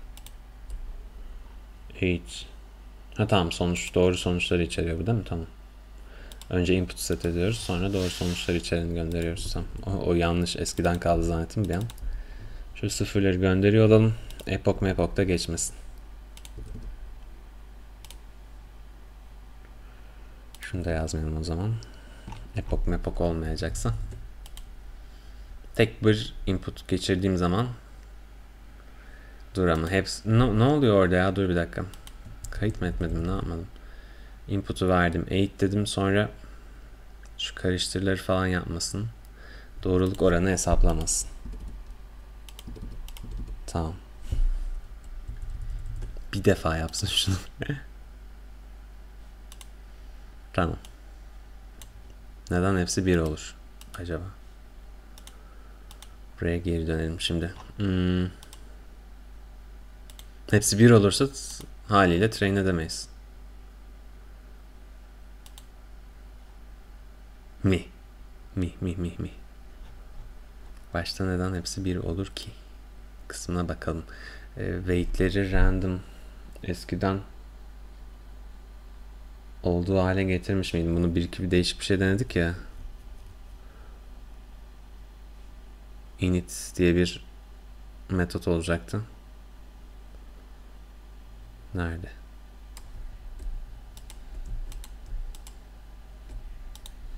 Hmm. Float demişiz.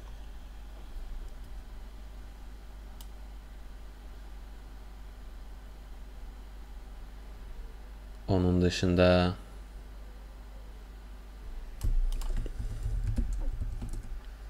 bir geri dönelim.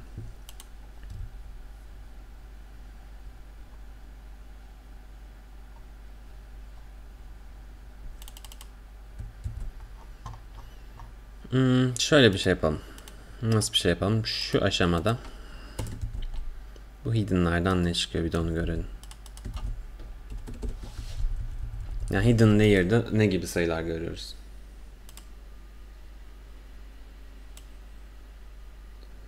Tamam normalize etmekle ilgili bir problem muhtemelen ya. Bana öyle gibi gelmeye başlıyor yine. Ya en baştakinde normalize etmiyorduk ama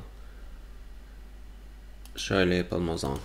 Yani hani normalde verimizi normalize etmeyince sıkıntılar olması bekliyoruz. Hani neural networkler böyle 0-1 aralığındaki normalize edilmiş sayılarla veya işte eksi 1 artı 1 aralığındaki sayılarla daha iyi çalışıyor. Bizim eski halinde yalnız 20 ile eksi 20 aralığında gibi bir aralığımızda da çalışıyormuş. Ben biraz ona güvendim. Ama sanırım burada birim sayısı falan artınca çok büyük rakamlar geliyor bu aktivasyonlardan. Bu gelen çok büyük rakamlar şu anlama geliyor. Bunlar Gerçi bunlar aktivasyondan geçtikten sonra öyle rakamlar ama 0 ve 1 aralığına çekebilirsek daha kontrollü olacaklar. Yani hani burada örneklerin içerisinde biz e, nerede ya da yüklerken yapmak belki daha mantıklı. Yükledik hani bunları okuduk unsigned byte olarak içine yazdık ya. Bu unsigned byte byte'ın içerisinden bir integer geliyordu. Bu integer'ı bizim double'a typecast edip de kendisini 255'e yani bir e, şey bir sayıyı normalize etmek onun minimum maksimum değeri arasından bu aralıktan 0 ile e, bir aralığına çekmek oluyor. Biz biliyoruz ki bu gelen byte'ların maksimum değeri 255, minimum değeri 0 olduğu için sadece 255'e bölmemiz bu aralığı 0 ile 1 arasına çekmemizi sağlıyor olacak. Öte yandan burada ekrana çizerken e, tersi bir işlem yaparken de 255 ile çarpmamız gerekecek. Çünkü buradaki color'ı set ederken 0 ile 255 arasında sayılar bize gerektiği için. Şimdi mesela çalıştırdığım zaman sayılar biraz daha hani adam gibi sayılar gibi duruyor. Yani normalize etmek bu idi. Gerçi onun dışında da sıkıntılar olabilir. Yani normalizasyon olmadığı için hiç train etmiyor demek doğru gelmedi. O yüzden bir kez daha çalışıyor mu gibi deneyelim isterseniz de denedikten sonra olan, olan şeye göre hareket edelim. Şunun içerisinde de dursun hadi dursun. O kadar sıkıntı yapmaz herhalde onu durmaz. Ama şeyi kaçıracağız tabi. Accuracy yazan yeri. Bir de bu kadar çok output yapınca iyice yavaşlıyor. Şunu atayım o zaman yine. Zaten aman bir sistem alt println mi yazamıyoruz? Yazarız ne olacak? Yalnız şurada ileri yönde giderken bir iki değişiklik yapmıştık. Şu şunu iptal etmiştik. Bunu eski haline getirelim bence. Ama şuradaki sistem alt printleri silelim şimdilik. Bakalım ne olacak.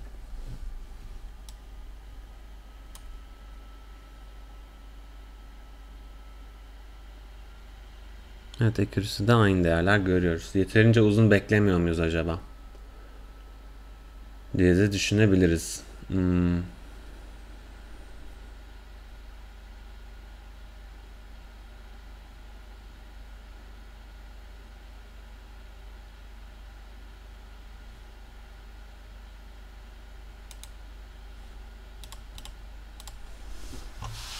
Yani burada mesela neural network kullanarak normalde görsel üzerine alan problemleri convolutional neural networklerle çözmek daha mantıklı.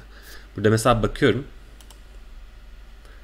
Burada kullanılan neural networklerin şeyleri var mesela iki layer'lı tamam mı? 300 tane hidden, un, hidden unit var mesela. De hidden neuron sayımız çok az olduğu için öyle olmuş olabilir. Bir onu belki arttırmayı deneyebiliriz ne kadar beklememiz gerekiyor vesaire gibi şeyler de söz konusu elbette. elbette. Bir de bizim implementation'dan hatalarımız olabilir. Çünkü böyle çok büyük testler yapmadık. 512 verelim hadi. Dadadan. Şimdi 10 class'ta şeyde sıkıntı olmaması lazım. Yani hani bir sonuç artmasını ne zaman görmeyi bekliyoruz ondan çok emin değilim. Unit birim sayımız artınca tabii iyice yavaşlayacak. Ee, şu an mesela hiçbir şey konusunda bir ayrım yapmıyoruz. Yani training, test, validation gibi bir ayrıma gitmiyoruz. O ayrımlar hani bu çalışabiliyor ise bundan sonra karşımıza gelen şeyler. Onun dışında nerede sıkıntımız olabilir biraz düşünecek olursak. Şimdi örnek setini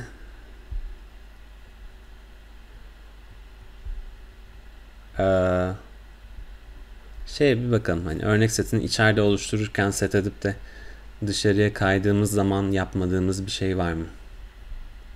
Bakın eski aralığa bakıyorum mesela eksi 10 ile artı 10 arasındaki sayılar için çalışıyormuş. Orada bir sıkıntımız yokmuş. Buradan float olarak alıp bunların içine koyuyormuşuz.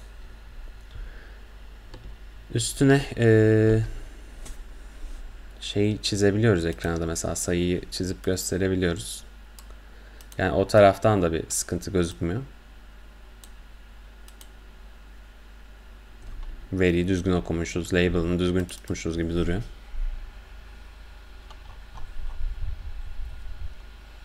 Bunları da aldıklarımızı tuttuğumuz için burada da sıkıntı yok duruyor.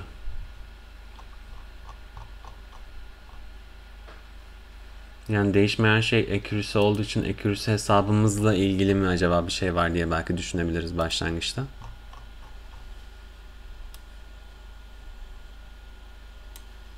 şurada. Ee, burada verinin tamamını alıyoruz. Her bir input için veriyi set edip tahmin ediyoruz. Sınıfına bakıyoruz.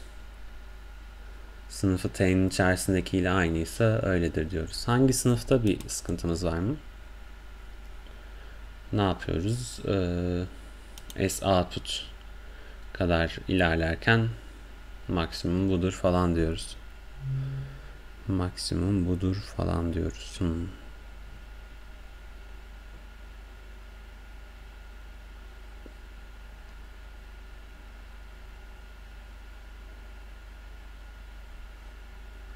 Şöyle bir değişiklik göremiyoruz şu an.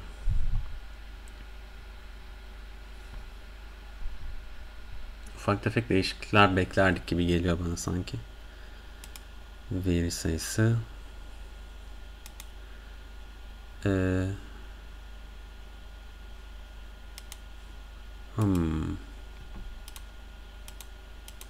Buraya geri dönelim o zaman. Şöyle bir şeyler yapalım. Bu tarafta bir sıkıntımız var mı ona bakalım. Array'ler oruç oluştu. Onu bunu yaptık. Örnek sayısı aldık, yükledik. 28 çarpı 28 her bir pikselimiz için. Araya 512 dedik. 10 farklı çıktı layer'ımız var. Çok da küçük olmayan bir learning rate yazıyoruz.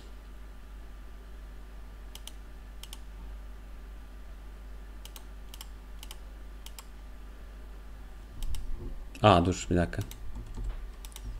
Deminkinden farkım şunu şey yapmayı. Sadece aynı örneğe bakıyormuşuz. Ama yine de Nasıl olur ya bir dakika demin hep aynı örneğe mi bakıyordum?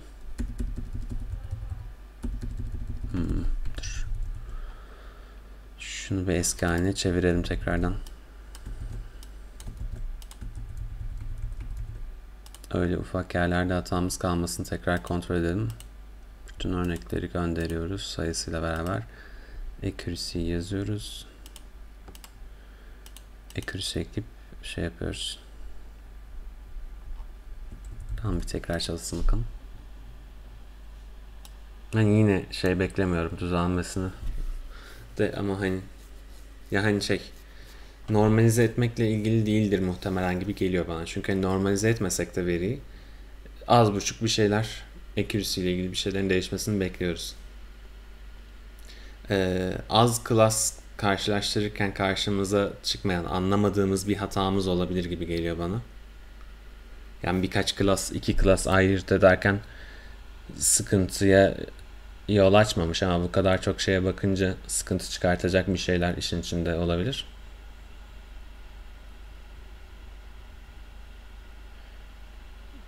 Karıştırdık ettik falan gibi kısımlar. Her bir örneği geçirip eğitmeye çalışıyoruz. Tabii ben şu an e, bir çıktı da kendime yazdırmadığım için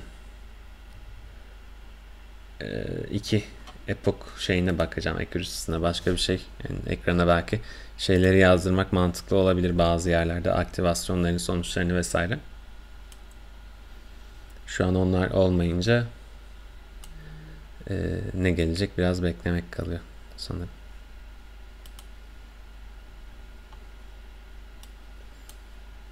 Yani buralarda bir yerde belki hata yaptık. Olabilir.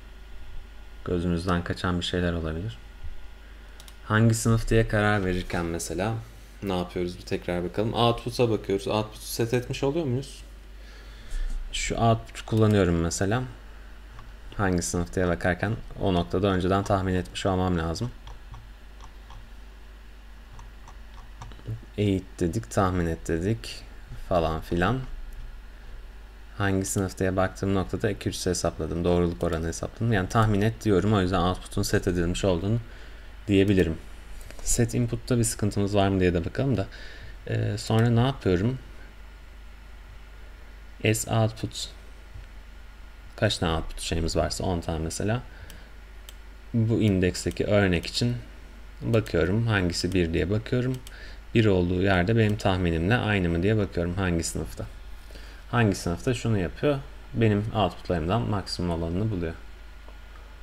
Değil mi? Başka bir şey yaptı da yok zaten maksimum değer. Output'un maksimum indeksindekidir diyoruz. output'tan büyük veya output'a eşitse diyoruz. Bu olasılık gibi şey olduğu için de en büyük olanını alıyoruz. Ama hepsi aynı çıkıyorsa hep az önce hepsine 1 geliyordu ya.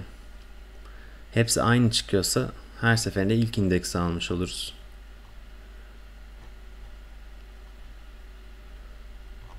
Ama neden hepsi aynı çıksın? Ağırlıkları güncellediğimiz falan kısımlar e, ileri yönde giderken hepsi neden aynı çıkabilir ona bakmaya çalışalım. Yani output'a baktığımız zaman hepsi aynı çıktı bir yerde. Garip bir biçimde output. Sigmoid'den geçiriyorduk. Sigmoid'den geçirirken Sigmoid'in Sigmoid'den önceki değeri çok mu büyüktü acaba? Yani sigmoid eksi 1 artı 1 ara, pardon sigmoid 0 1 aralığına düşüren bir şeydi. Sigmoid'den önceki değeri şu hali yani şu weight'ler eklenmiş hali çok büyükse eğer böyle bir şey söz konusu olabilir. VB output dediğim şeyin pardon base de eklenmiş hali bu. Hani hidden'ların hepsinin çıktısını aldığımız hali. O zaman şöyle bir şey olabilir. Hmm. Kullandığımız aktivasyondan dolayı böyle bir sıkıntı oluyor olabilir. Yani kullandığımız aktivasyon Rectified Linear Unit bayağı büyük değerler almaya müsait. Sigmoid 0 ile 1 arasına çekiyordu her şeyi. Rectified Linear Unit kocaman değerler alabiliyor. Pozitif yöndeyse hatta. Ve biz bunların bütün toplamını alıyoruz. Aradaki hidden nöron sayısını düşünürsek veya hani bir önceki layer'da da 28 çarpı 28 tane şey var.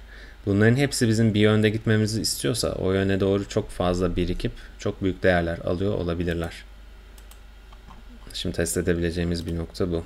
Hmm, tahmin et diyoruz. Tahmin ederken aktivasyondan geçirdikten sonra mesela şu hidden'lar neler bir onu görelim. İsteyeceğim. System out'lar ile. Buna bir baktıydık aslında da. Bir de şey olarak bakmak istiyorum şöyle. Hem bu katmanda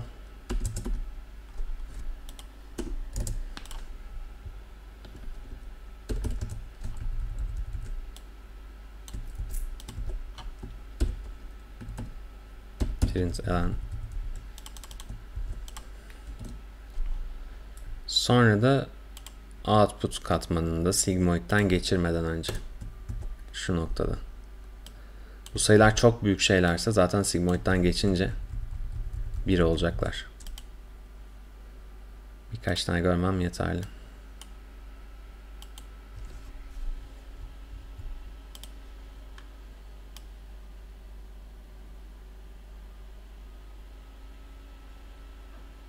Kaç tane şeye bakıyoruz onu bilmiyorum.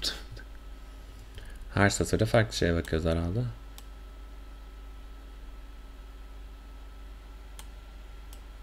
Bu kadar da az çalışmadı ama dur.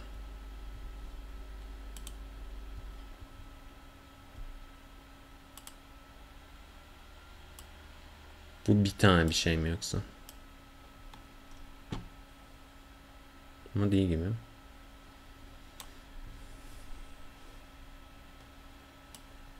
Büyük ama çok aşırı büyük de değil sanki. Aha double olarak tutuyoruz. Onunla ilgili bir şey mi? Yani şunu yazdırma için. Bir dakika şöyle sırayla yapalım. Hangisinin ne olduğu karışmasın.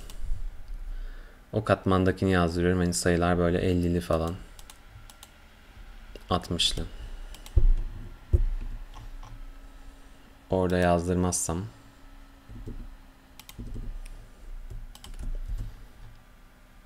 Şunu print out alt satıra geçmedik. Biraz da orada bir sıkıntımız oldu demin herhalde. Böyle yapıyorum. Mesela böyle böyle sayılar geliyor. Aslında çok saçma da değiller herhalde. Bir de şöyle yapalım. Hmm, nasıl yapalım? Output sigmoid.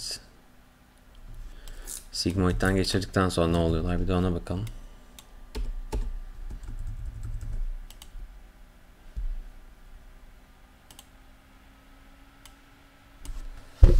Şimdi şu ilk olanlarda bir sıfırlar görürken şunlarda bazıları mesela farklı farklı şeyler alıyor. Şu mesela çok küçük bir sayı. Sonra bazıları bazı başkaları da küçük sayılar olmaya başlıyor. Ben buradan şunu çıkarmalıyım gibi geliyor bana. Bazı şeyleri train ediyoruz. Olasılık değerleri değişiyor. Ee, şuradan sonra peki şu an düzgün bir hale geliyor mu bunlar? Toplam output falan bölüyoruz ya. Output, yine output'u gösteriyorum. Tamam. Hmm, mesela. Şimdi bakınca mesela ama ilk klasa hep 1 kaldı mesela. Şöyle bir şey. Hmm, hmm, bir dakika ama yok.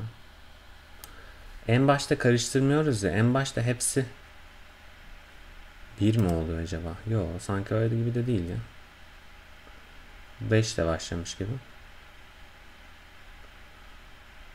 Şöyle bir şey yapsak ya dur.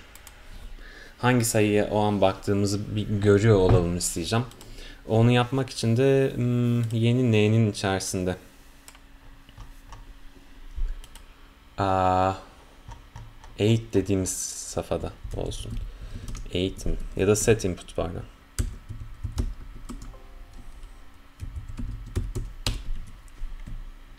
Set input dediğimiz şey bu tarafta biliyoruz aslında hangi örneği set ettiğimizi. ORN ya da örnek dediğimiz şeyi set ediyoruz ya. ORN nokta göster diye bir fonksiyon olsun.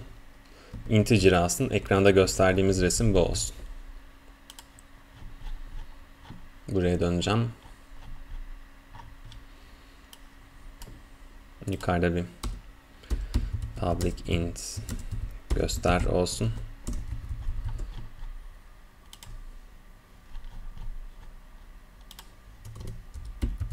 Public void göster metodu bir integer g alıyor olsun.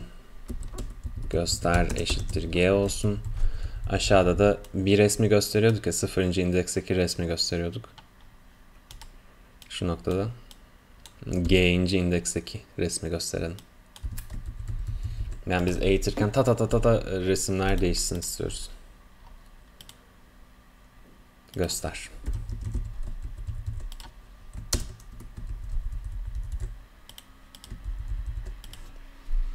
Resimler değişirken ana resim ne değişmedi?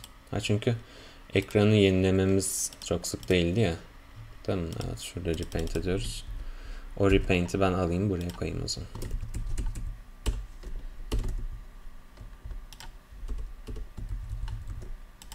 Ta ta ta ta resimler değişecek de hani şey sayılar karışık mı değil mi onu görmek istedim. Karışık bir sayılardı. Yani benim klas olarak her seferinde aşağıdaki network'üm ne yapıyor biliyor musunuz? Aşağıdaki network her seferinde ilk cluster diye tahmin ediyor. Ama ilk class değil aslında. Mesela diğer klasların olasılıkları oynuyor, sıfıra iniyor falan. Ama ilk klas hep bir kalmış. Bu da aslında neyi gösterir? Hmm. Tam olarak neyi gösterir bu? Şuraya bir tekrar dönelim. Şimdi şu işlemden sonra onu görüyoruz. Nerede? Output layer'in hesabı. Output'ları topladık. Yukarıda toplama output bulduk. Doğru mudur? Doğrudur. Sonra her birini toplama output'a bölüyoruz. Yani burada toplama output'a baktığımız zaman en üsttekinki kocaman aslında onu bulmuş oluyoruz herhalde. Şöyle yapalım. Ee, Diğerlerin hepsinin sıfır mı? Onu mu çıkarmış olmam lazım sanırım. Yani e, şöyle toplama output'a bölmeden önce bakıyor olsaydım. Sonra bir de toplama output'a böldükten sonra bakıyor olsaydım. Buradan tam olarak ne çıkarmam gerekirdi? İlk aşamalarda bir şey değişmesini bekliyor muyuz? 1 0 1 1 0 1 1 0 1 bu çok garip bir örüntü yalnız. Böyle başlıyor olması bir saçma gibi geliyor bana. Biraz ilerledikten sonra ne oluyor?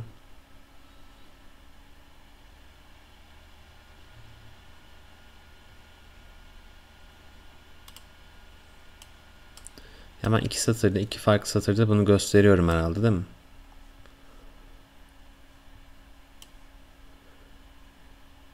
Ha yan yana gösteriyorum pardon. 1 0 1 olması mantıklı o zaman. Yani bir onu bir bunu gösteriyorum ya. Birer boşlukla. Yani 1 0 1 olduğu durumlarda hepsi 1 olduğu için tamamına döktüğümüz zaman hepsi 0 1'e karşılık gelir hale gelmiş. Ama mesela biraz ilerledikten sonra bakıyorum 1 olan tamam 1'e karşılık gelecek hale geldi. Diğeri 0 bir tanesi böyle bayağı küçük bir sayı.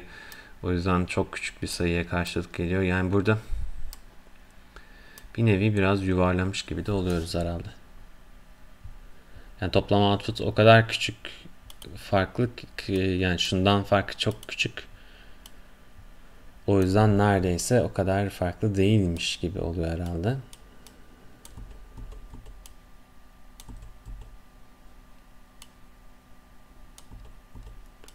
Burada da neden bunu yapıyoruz? Olasılık gibi dursunlar diye. O, öyle bir kıvama gelmeleri için yapıyoruz. Onu yaparken de bizim ağırlıkları güncellerken ki kısımda etkimiz nereden kaynaklanıyor diye bakacak olursak. Şimdi tahmin ettik. Output'ları hesapladık. Output'ları sigmoid'den geçirerek bir şeyler hesaplıyoruz. Yani ilkinin bir olması biraz garip geldi. Diğer klaslar değil de her şey ilk klaslanmış gibi karar vermişiz gibi sanki. Ama şuradan label'lara bakıyoruz. Label'larda bir sıkıntı durmuyor. Acaba şeye aktarırken hata mı yapıyoruz? Şurada bakalım. Eğit derken T'de örneği gönderiyoruz. T'yi gönderiyoruz. Yani farklı bir şey de göndermiyoruz aslında. Buraya bakalım. Burada T olarak doğru şeyi kullanıyoruz gibi. Double diyoruz. Ee, integer output'unda bu değere yaklaşmasını istediğimizden dolayı. Bir de şu noktada yazdırıyor olsak neler gelir elimize bir bakalım. Olmuyorsa da belki biraz bir sonraki derse falan bırakabiliriz. Yani her bir klasın hatasını nasıl hesaplıyoruz? Nedir diyoruz. Bir dakika. Hmm, TDI her bir farklı klas için diyoruz. Doğrudur. Değil mi? S output kadar var. S output e, sıralamada tamam üçüncü olan.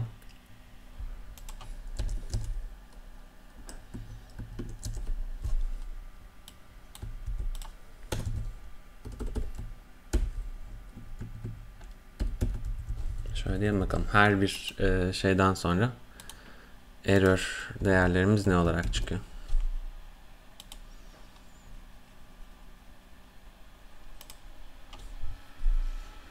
Yani her bir şey içinde bir error var aslında. İlk klas için mesela bayağı bir hep bir hata, eksi bir hata olduğunu görüyoruz. Yani ilk klası bir şekilde aşağı çekmiyor. Neden olabilir bakalım. Şu çalışıyor şu an. İlk klası bir şekilde hiç aşağı çekmiyor gibi duruyor. Yani ilk klasın şeyi değişmiyor. E output, D output.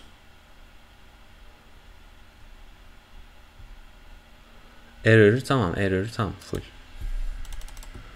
Acaba D output'unu nasıl hesaplıyor? Orada bir sıkıntı mı oluyor? Dersek. Bakalım. Yo delta da hesaplıyor. Ha delta bak şurada sıfır oluyor. Bunlar için değişmemeli gibi çıkıyor. Ama bazen de değişmesi gerektiğine dair şeyler çıkıyor. Her zaman sıfır değil.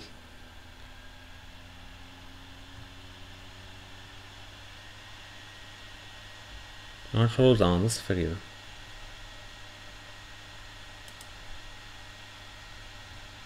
Elimizde çok fazla sıfır örneği falan mı yok yoksa belki de. Ama onunla da ilgili o kadar da şey olmaz herhalde ya. D sigmoid. Sigmoid'den geçince.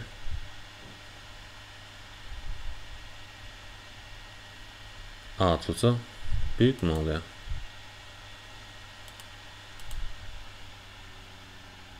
Aa, bir dakika dur. Output. Ha tamam. Derivative sigmoid.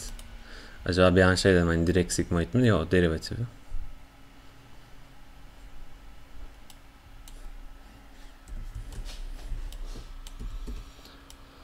Evet şu an çok göremedim gibi duruyor. Yine e, hüzünlü bir noktada bırakmış gibi olacağız belki o zaman. Hidden için yapılan işlemler vesaire. Ağırlıkları güncelle.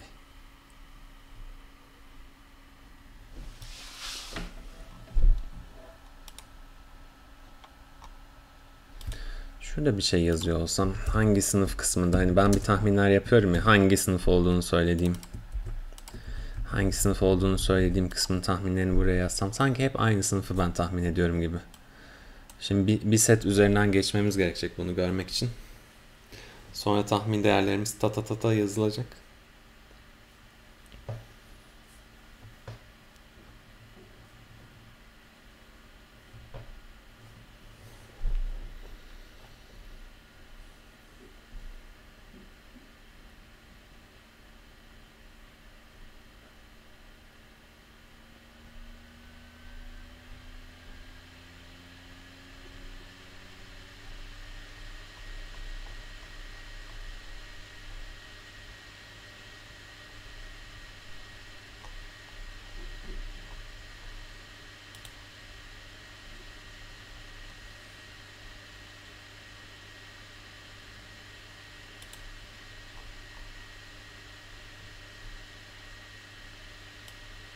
Bunu kullanmıyoruz herhalde zaten artık.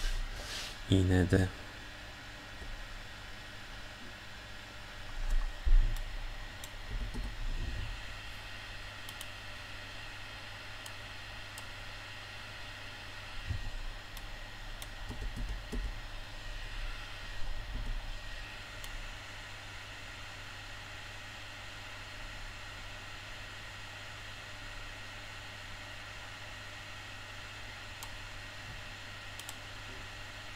şeyleri gösteriyor olmak da işi yavaşlatıyor evet. Yani burada her seferinde e, repaint diyerek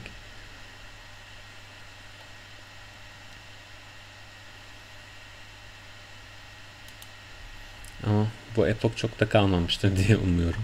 Bakalım.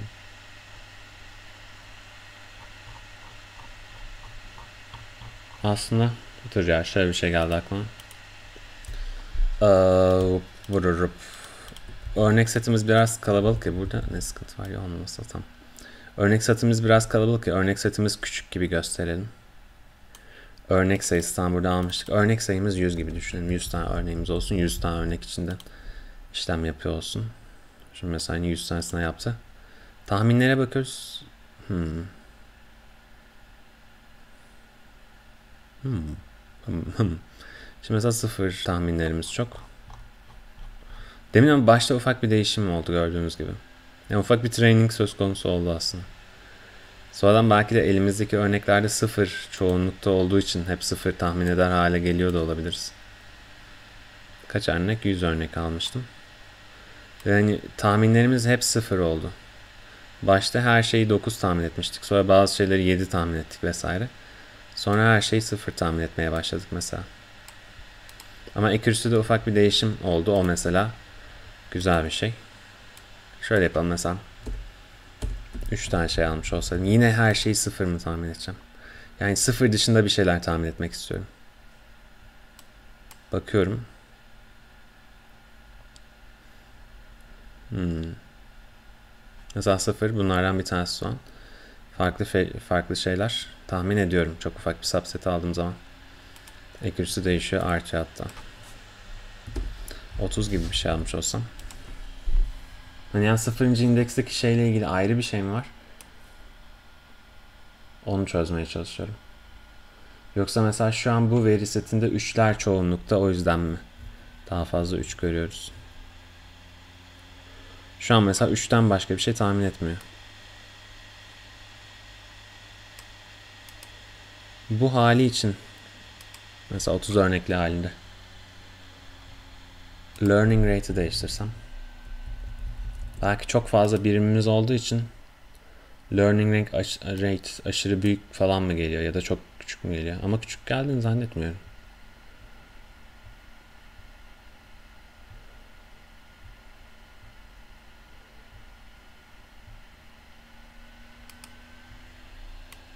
Bir yapalım bakalım olacak. Her şeyi 9 tahmin ettik mesela. Her şeyi sıfır tahmin ediyoruz.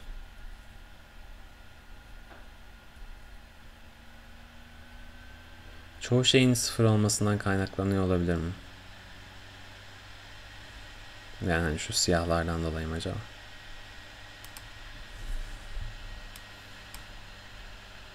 Örneğimiz tek olsaydı ne olurdu? Hep aynı örneği görürdü. Hep de 5 demeye başlardı. İki örneğimiz olsaydı. Bir 5 bir 0 görüyoruz mesela. Daha çok 5 diyor. Yani ikisini ayırt edecek bir piksel bir noktada bulabilmesi lazım aslında. Ama learning rate belki fazla gelmiş oluyor öyle olunca. 0.1 olsa. Hani bir örnek bir bu örnek diye gördüğü için. Şimdi ikisine de 0 diyor mesela. Learning rate biraz daha düşük olsaydı ne olurdu?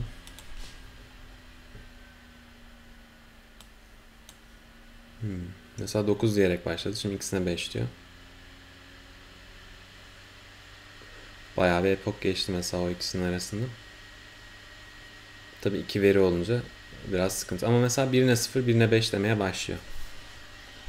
O zaman benim tahminim bizim veri setinde çok fazla sıfır var olur. Onu bir kontrol etmemiz gerek o zaman.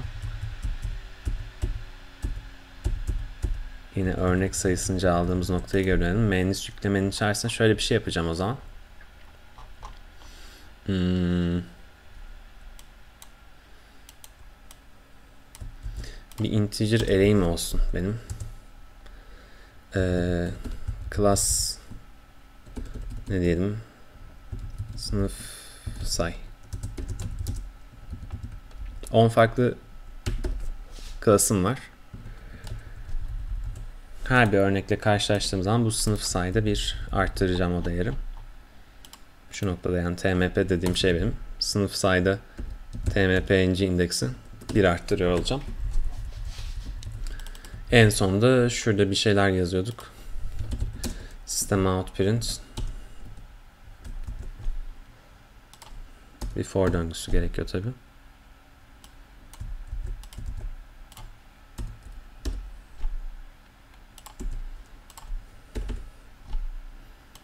Ya her class'tan kaçar tane var? Sıfırdan çok var sanki gibi geldi bana o yüzden. Şurada da iyinci indeks diyor olacağız elbette.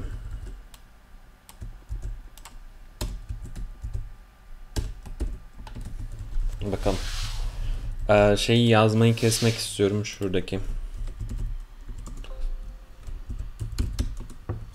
System out max index bunu yazmayalım artık. Ne dedi? Ha tamam. Dur orada. Ama dengeli de duruyor ya of. Dadadan dadadan. Şunun indeksi 10 olacak tabii ki. Gayet de dengeli duruyor yalnız hani şey. Sıfırdan çok falan yok. O zaman bunu bir sonraki bölüme bırakalım. Hüzünlü bir nota da bırakmış olduk. Görüşmek üzere. Hoşçakalın.